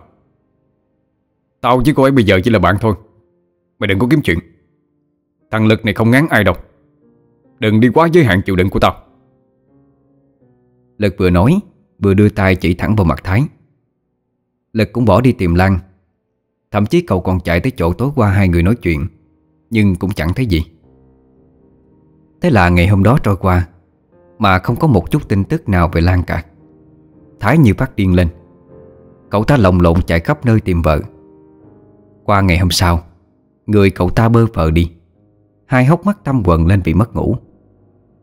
Cứ trời vừa sáng, Lại chạy ra khỏi nhà đi tìm Lan. Vừa hay bắt gặp Lực đang đeo ba lô đi làm. Thái định đến nói gì đó, Thì Lực cắt ngang. Tao biết mày muốn nói gì, Nhưng tao thề là tao chỉ nói chuyện với cô ấy chưa đầy được 5 phút. Sau đó thì tao quay về nhà. Nói xong, Lực trời đi. Cái tình Lan mất tích Được mọi người thiêu dệt nhiều hơn. Có người còn độc miệng bảo rằng Lan bỏ nhà đi theo Lực. Có người cũng tán đồng Vì hôm đó thấy Lực trời đi. Bà may mẹ của Lan từ hôm qua tới giờ Cũng như Thái Cứ lang thang ở ngoài đường tìm con. Tóc tai xõa ra Trong tội vô cùng. Thế rồi lại qua thêm hai ngày nữa, Tin tức của Lan cứ như mò kim đáy biển. Gia đình Thái báo công an, Nhưng cũng chẳng có tung tích gì. Tối nay, bà Mây đang ngủ chập chờn trong giường, Thì bỗng dưng cánh cửa sổ bên cạnh phòng Mở toang ra. Một cơn gió lạnh ùa vào. Tiếng của Lan vang lên bên tai bà. Mẹ ơi. Con đau lắm. Con đau lắm mẹ ơi. Cứu con với. Bà nhìn thấy con gái bị một sợi dây thòng lọng Thòng vào cổ. Sau đó treo lên cao. Các người Lan đâu đâu cũng là máu. Cô túm lấy sợi dây bên trên Mà không ngừng kêu cứu. Nhưng sợi dây cứ càng thích chặt lấy cổ của cô hơn. Cho tới khi Lan ngừng dãy dụa Bà mây thấy vậy thì hét lên. Không, Lan, Lan à Ông Hảo ở bên ngoài hút thuốc chạy vào. Nhìn thấy người vợ lạnh ngắt Miệng không ngừng gọi tên con gái. Ông vỗ vào mặt bà mấy cái Rồi gọi đứa em gái của Lan. Nè Linh à Linh dậy bố bảo nè. Con bé còn nhỏ Ngái ngủ chạy ra. Ông Hảo nói Lấy cho bố chai dầu Mẹ mày bị làm sao đi nè Nhanh lên đi con. Dầu được đưa đến Hai bố con ông xoa dầu Làm ấm cho bà Mây một lúc sau thì bà tỉnh dậy. Vừa thấy chồng bà khóc hòa lên, Ôm lấy ông rồi nói, Ông ơi, Tôi sợ con Lan nhà mình có chuyện rồi. Tôi mơ thấy con nó treo cổ không mà. Tôi lo cho con lắm. Một thân một mình không biết ở đâu rồi nữa. Bà Mây cứ ôm mặt mà khóc. Ông vỗ vỗ vai bà an ủi, Thôi bà đừng có suy nghĩ bậy bạ. Nó là giấc mơ thôi con mình số lớn mạng lớn Không, không có chuyện gì với nó đâu. Nghe lời tôi nằm xuống ngủ đi. Thôi à Con Linh qua ngủ đi con. Con bé cũng rời đi. Ông Hảo đỡ vợ nằm xuống. Bà cứ nằm giật mình thồn thột. Giấc mơ lúc nãy quá kinh khủng đối với bà. Chỉ mong sao Đó là một giấc mơ mà thôi. Rồi lại thêm hai ngày nữa trôi qua. Tin tức của Lan vẫn vặt vô âm tính. Khi tối, Thái cũng mơ thấy một giấc mơ kinh khủng. Cậu nhìn thấy Lan đang bị treo cổ. Các người cô khắp nơi đều là máu.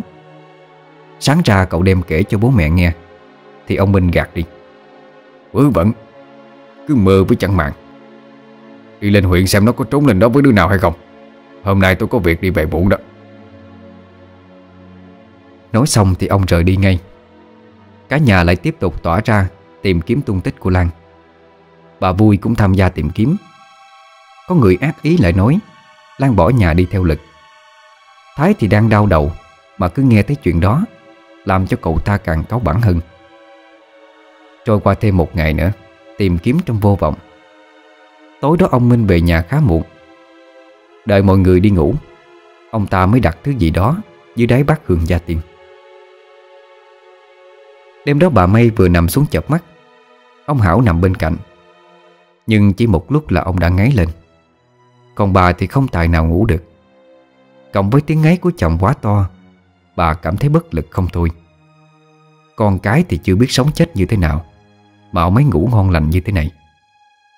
Bà dùng chân đạp mạnh vào chân chồng mấy cái. Ấy thế nhưng chồng vẫn ngủ say. Nè, Ông có thôi ngái đi hay không? Con còn chưa biết tung tích. Mà bố nằm một cái là ngủ luôn là sao? Ấy thế mà, Ông ấy vẫn không nhúc nhích gì.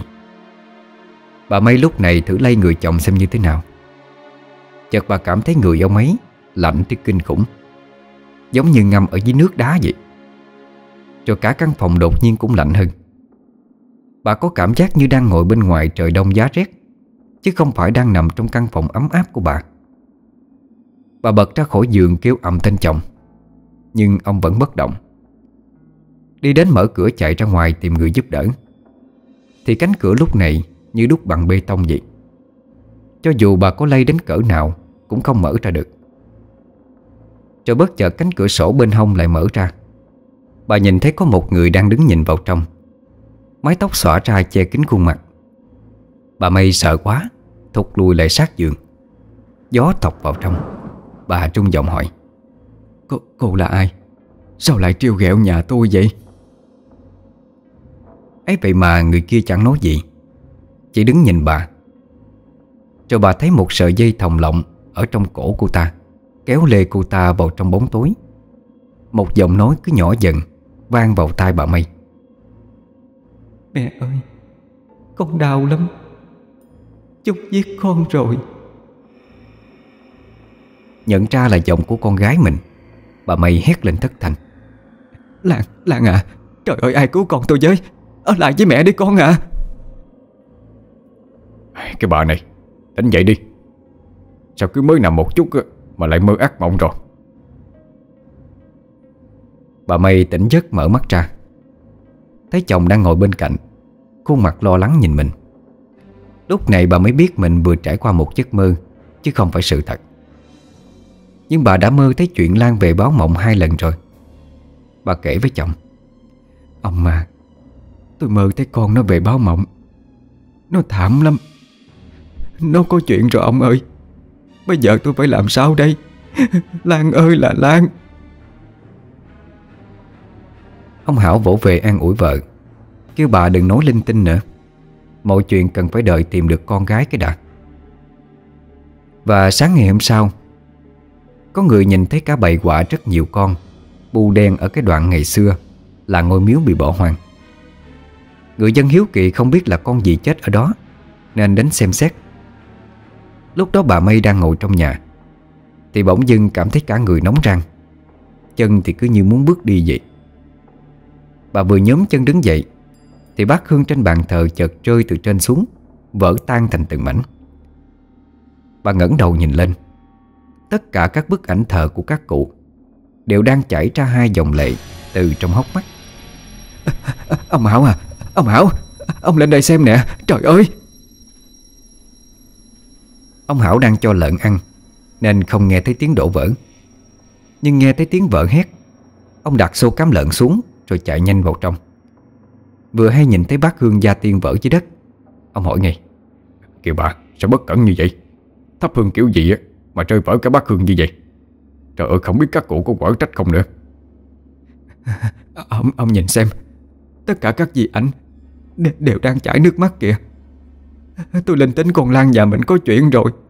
Trời ơi, con tôi. Nói xong bà chạy ra khỏi nhà. Ông Hảo cũng chạy đi theo. Khi hai người ra tới ngoài đường, Thì thấy đám hàng xóm đang kéo nhau đi vào chỗ ngôi miếu hoang. Có một mùi hôi thối bốc lên nồng nặc.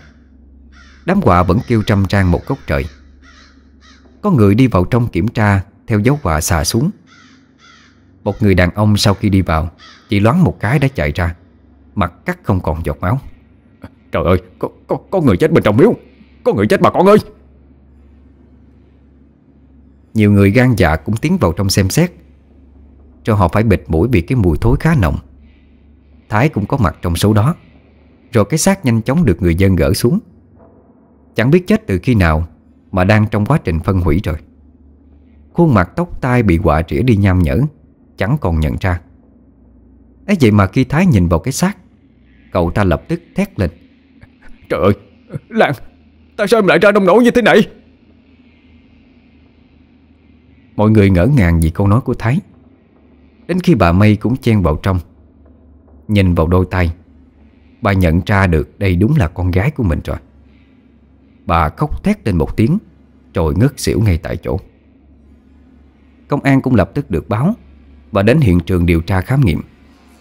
Tuy nhiên, ngày đó rất sơ sài. Cộng với việc cái xác bị phân hủy, Bị quả mổ quá hư hại, Cho nên họ kết luận là tự tử. Nhiều người xì xầm bàn tán về cái chết của Lan lắm. Có người đọc miệng, Nói cô vì cảm thấy có lỗi với Lực, Cho nên đã tự vẫn.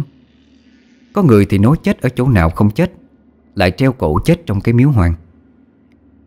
Đám tang của Lan Cũng có rất đông người làng đến tiễn đưa. Ai cũng tiếc thương cho số phận hẩm hiu của cô. Ai cũng nói cô số vốn cô độc, Vắng chồng.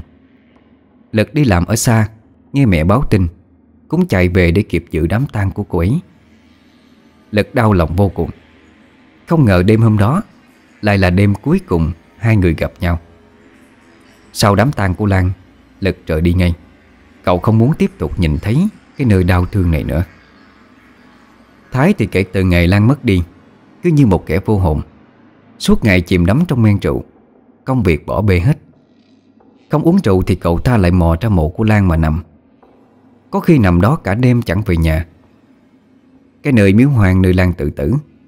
Thì mấy ngày sau người dân trong làng Bắt đầu phát sạch cây cối, Dọn cho sạch sẽ, Sửa sang lại cho hoàn chỉnh, Rồi thắp hương cúng bái. Có người còn lập một bát hương Ngay chính cái nơi mà Lan treo cổ nè.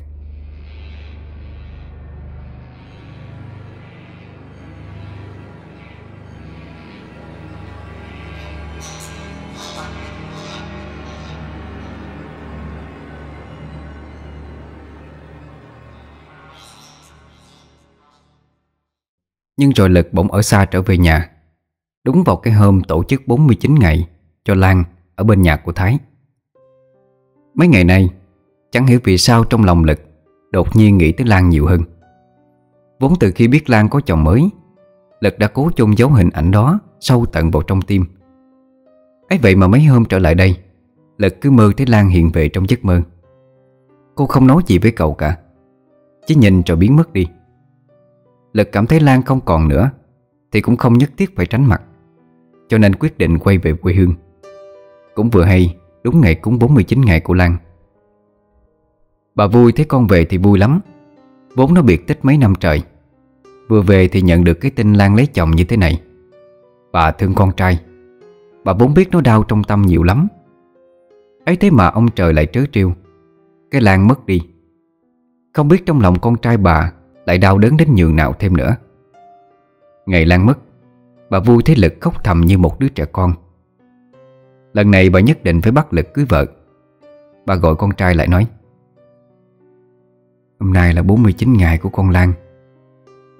Sẵn tiện con về, Mẹ con mình cùng nhau qua thắp hương cho nó có được không? Mà Sao con lại về đúng đợt này vậy? Năm năm con mất tích đã làm mẹ lo nghĩ nhiều rồi. Bây giờ Lan cũng đã mất. Con cũng chẳng cần trốn tránh nữa. Lần này con về đây với mẹ luôn. Thế là hai mẹ con đi qua nhà bố mẹ của Lan. Bà vui mở lời. Mẹ con tôi qua thắp cho nó nén hương. Bà Mây thở dài nói. Dạ Vợ chồng tôi cảm ơn mẹ con chị. Thắp lương cho có lệ thôi. Chứ bàn thờ con Lan Vẫn ở bên nhà của thằng Thái chị à. Tụi tôi xin trước nó về Nhưng thằng Thái không chịu. Ừm, Vậy để con qua đó thắp cho cô ấy nén hương. Bà vui cũng đi theo. Bố mẹ Lan cũng chẳng biết làm như thế nào, Cũng đi theo qua nhà Thái. Căn nhà vắng tanh, Chẳng có ai đến thắp hương cả. Bàn thờ của Lan nằm đối diện ngay cửa ra vào. Vừa vào nhà Lật nhìn ngay cái di ảnh của Lan. Đột nhiên Trong đôi mắt của cô Chảy ra toàn là máu. Lật giật mình ngã ra đất. Lật, con sao vậy? Sao tự dưng ngã ra đất vậy con? Lật trấn tĩnh vội vàng đứng lên. Trong lòng chợt không ngừng ớn lạnh. Một cảm giác mà trước đây dù cận kề sinh tử Cậu cũng chưa từng gặp qua. Cậu lại đưa mắt nhìn lên ảnh thờ của Lan một lần nữa. Nhưng lúc này mọi thứ lại trở về bình thường. Cứ nghĩ mình hoa mắt, Cho nên cậu nói dối là đi xa về mệt, Cho nên chóng mặt. Sau khi thắp hương xong, Thì hai mẹ con trở về nhà. Trên đường về, bà vui hỏi con trai, Sao con cứ im lặng vậy? Khi nãy mẹ thấy con ở nhà thằng Thái lạ lắm, Có chuyện gì sao? Mẹ, Mình về nhà đi Cho con nói chuyện với mẹ sau về nhà rồi Bà vui liền hỏi con trai có chuyện gì. Lật đỡ mẹ ngồi xuống ghế Rồi mẹ nói.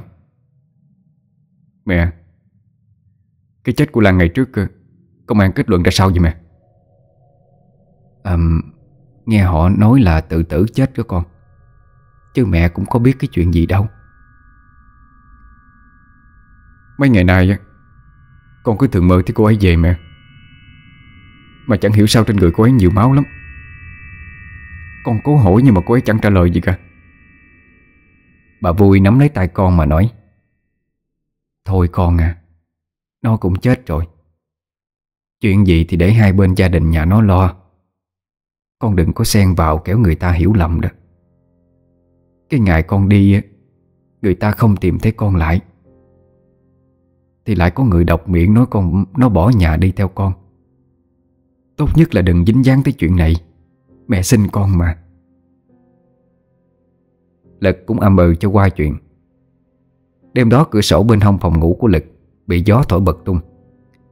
Cậu mơ màng tỉnh dậy Vừa hay nhìn thấy bên ngoài Có người mặc đồ trắng Tóc xõa che kín mặt. Gió lạnh ùa vào. Lực biết mình đang bị trêu Nên run run nói. Cô lại Sao, sao lại trêu chọc tôi? Tôi không có làm gì nên tội với ai cả. Xin đừng chọc phá tôi nữa mà. Cái bóng kia vẫn không nói gì.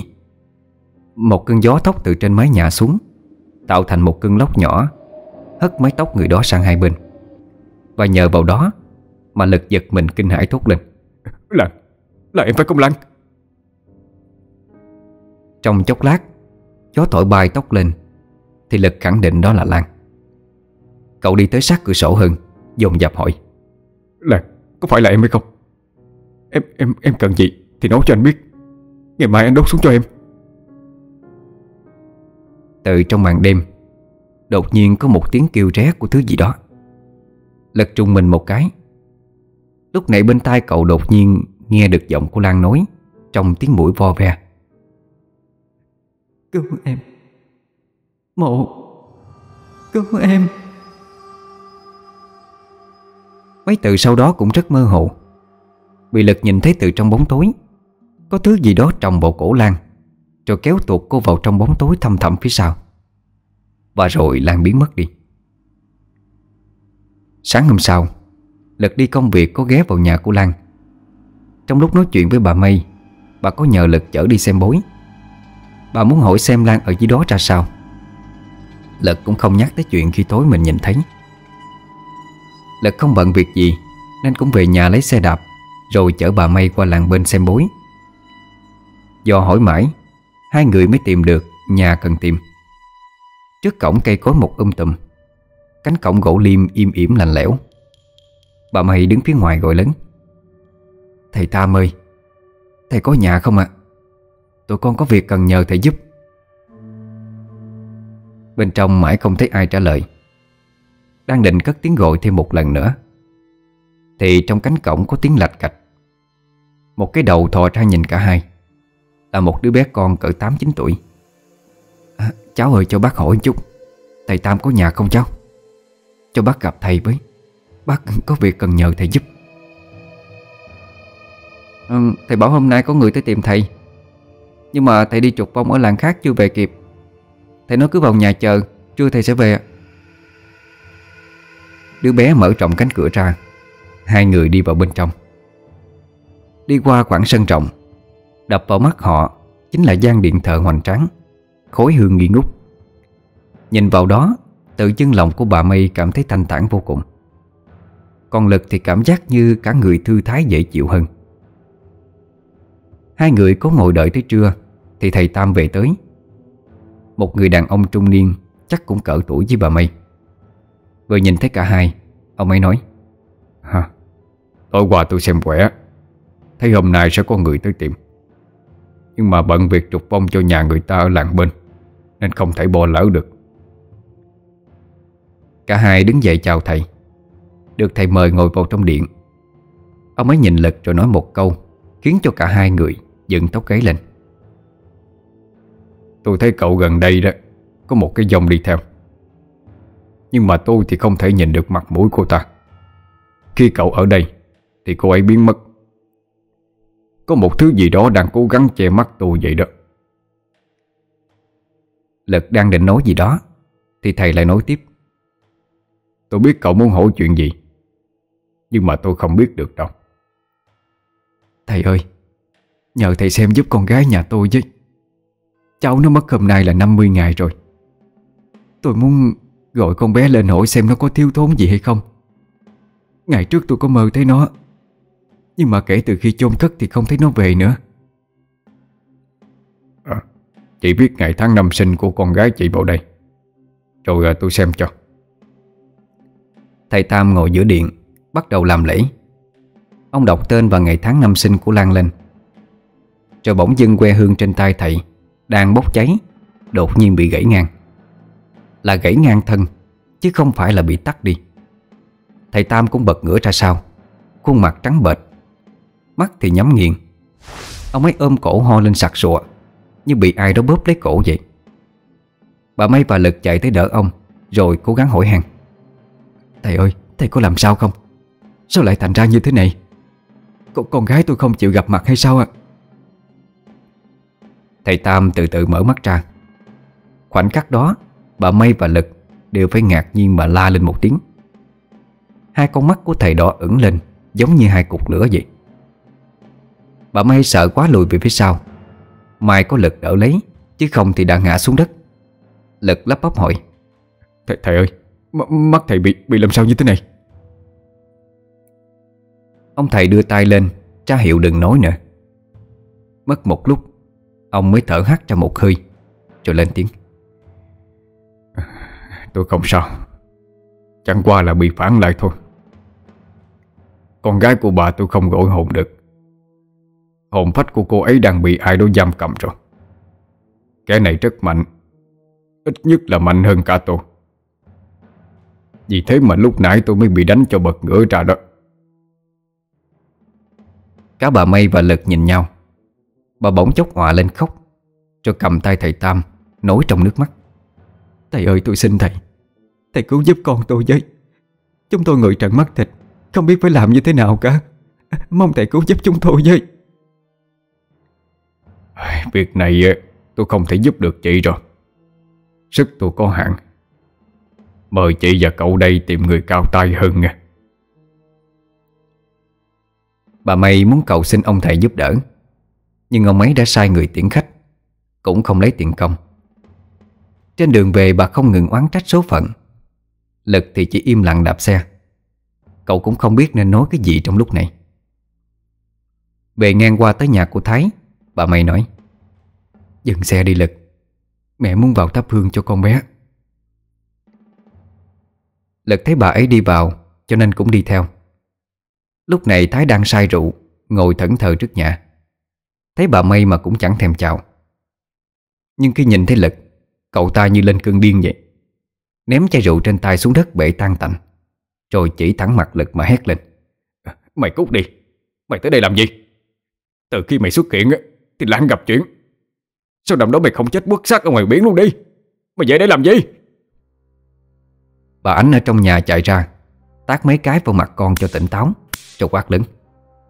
Con điên khùng như vậy đủ chưa? Có thôi đi ngay hay không? Vợ mày nói chết chưa đủ hay sao hay mày cũng muốn chết luôn? Mẹ xin mày đó Thái à Tỉnh táo lại đi con. Người chết rồi không sống lại được nữa đâu. Thái càng giữ tận hơn. Sau đó vùng vằng bỏ vào trong buồng, Đóng chặt cửa lại. Bà Ánh mới quay qua nói, Chị xui, Mời chị với cháu Lực vào nhà. Hai người đi đâu mà ghé ngang đây vậy? Dạ tôi nhờ thằng Lực chở tôi đi công chuyện chút. Sẵn tiện ghé vào thắp cho con Lan nén hương. Bà Ánh nghe vậy, Cũng dẫn hai người tới chỗ bàn thờ của Lan. Bà Mây và Lực đốt hương lên khấn vái, Thì bỗng dưng hai cây nhang trên tay của hai người Đột nhiên tắt ngang. Cho dù có đốt lại Thì cũng tắt, Khi mà vừa cắm xuống bát hương.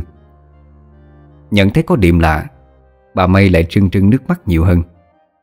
Bà chắp tay nhìn vào di ảnh của con mà khấn. Là người. Con sống khôn thác thiên Có chuyện gì con về báo mộng cho bố mẹ Hay là chồng con đi? Con đừng làm như vậy, bố mẹ lo lắm. Con có điều gì muốn nói sao Lan? Lúc bấy giờ, Thái lại từ trong nhà bước ra. Nhìn thấy hai người đang đứng thắp hương, Cậu ta vùng vằng bỏ ra ngoài.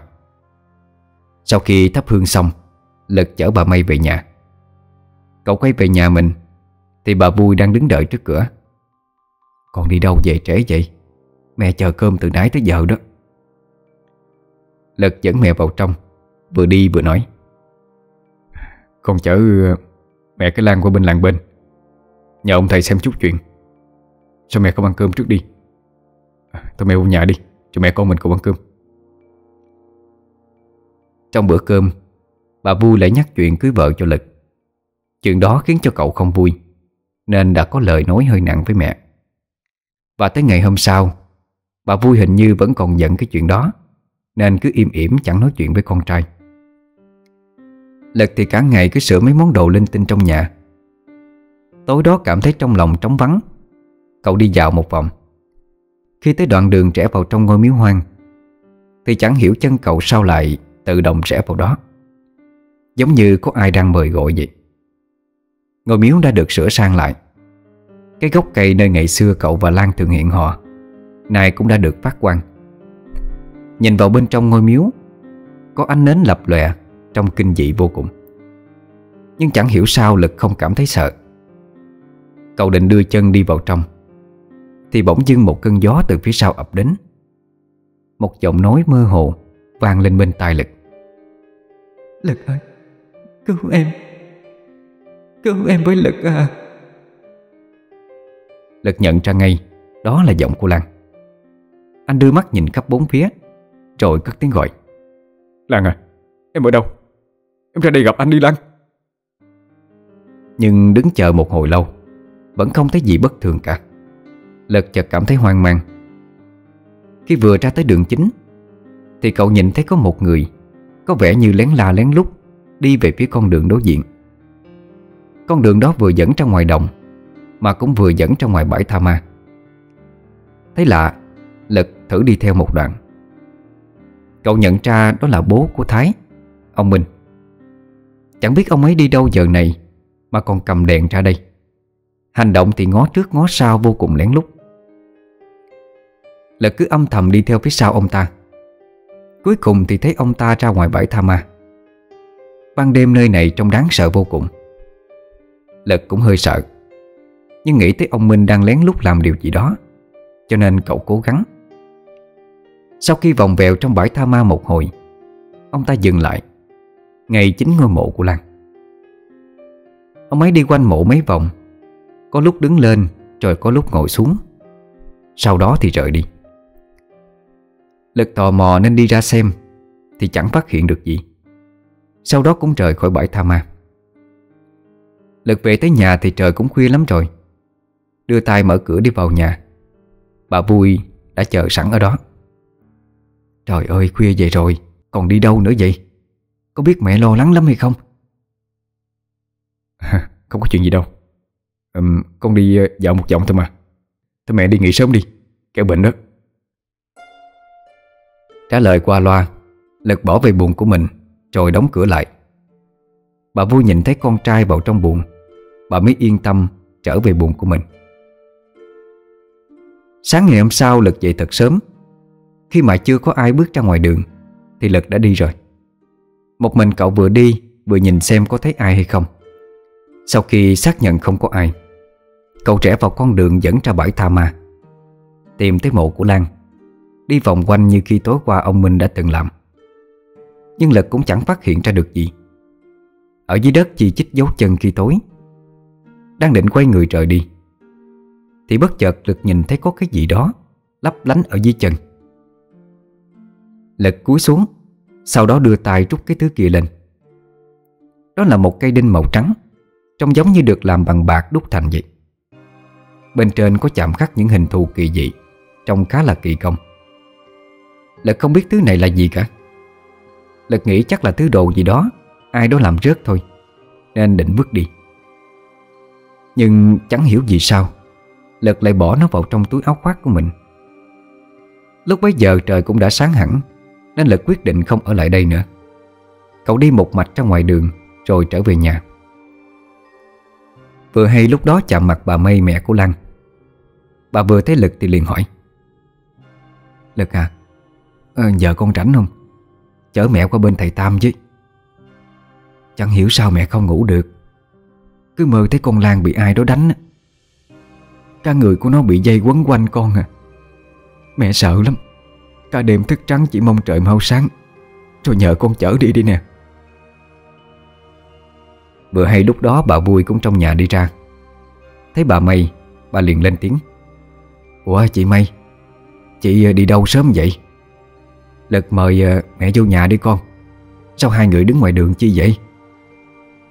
À, dạ Chị cứ làm việc nhà đi. Tôi có chuyện nhờ thằng Lực nó chở qua làng bên một chút. À vậy hả? À, Thế thế đi đi con Để lỡ việc đó. Lực lấy xe chở bà Mây trời đi. Khi hai người đi tới trước cửa nhà của thầy Tam Thì vừa hay ông ấy đang tưới nước cho hoa. Bà Mây đi vào trong Nước mắt đã rịn ra trên khóe mi. Gặp thầy Tam bà nói Thầy ơi Con xin thầy giúp con với. Chẳng hiểu sao con mơ thấy con gái Bị cột dây khắp người thầy ạ. Con bé đau đớn lắm thầy ơi. Thầy Tam, Thử gọi hồn Lan lên một lần nữa. Nhưng lần này còn kinh khủng hơn. Thầy chỉ vừa mới lẩm bẩm được một lúc, Thì cả người đã trung lên bần bật. Hai tay co cứng lại, Như có ai muốn bẻ đi vậy. Sau đó lại một lần nữa, Tự đưa tay lên bóp lấy cổ mình. Lật vào bà Mây Thấy ông thầy cứ ăn ặt trong cổ. Liền cố chạy tới giữ lấy tay ông. Lực hét lớn, Thầy ơi, thầy làm sao vậy? Tính lại đi thầy. Đứa học trò hay là cháu gì đó của thầy Tam, Nghe thấy có chuyện Thì chạy vô ngay. Nó thấy thầy như vậy, liền chạy lại chỗ bàn thờ thánh, Cầm lấy một cái ống tre. Sau đó chạy tới Tạt lên người ông một cái. Thứ nước trong ống tre văng khắp người thầy. Ông thầy lúc bấy giờ mới hét lên một tiếng, Rồi nằm sụi lơ xuống đất. Tình cảnh này khiến cho bà Mây và Lực khiếp đảm không thôi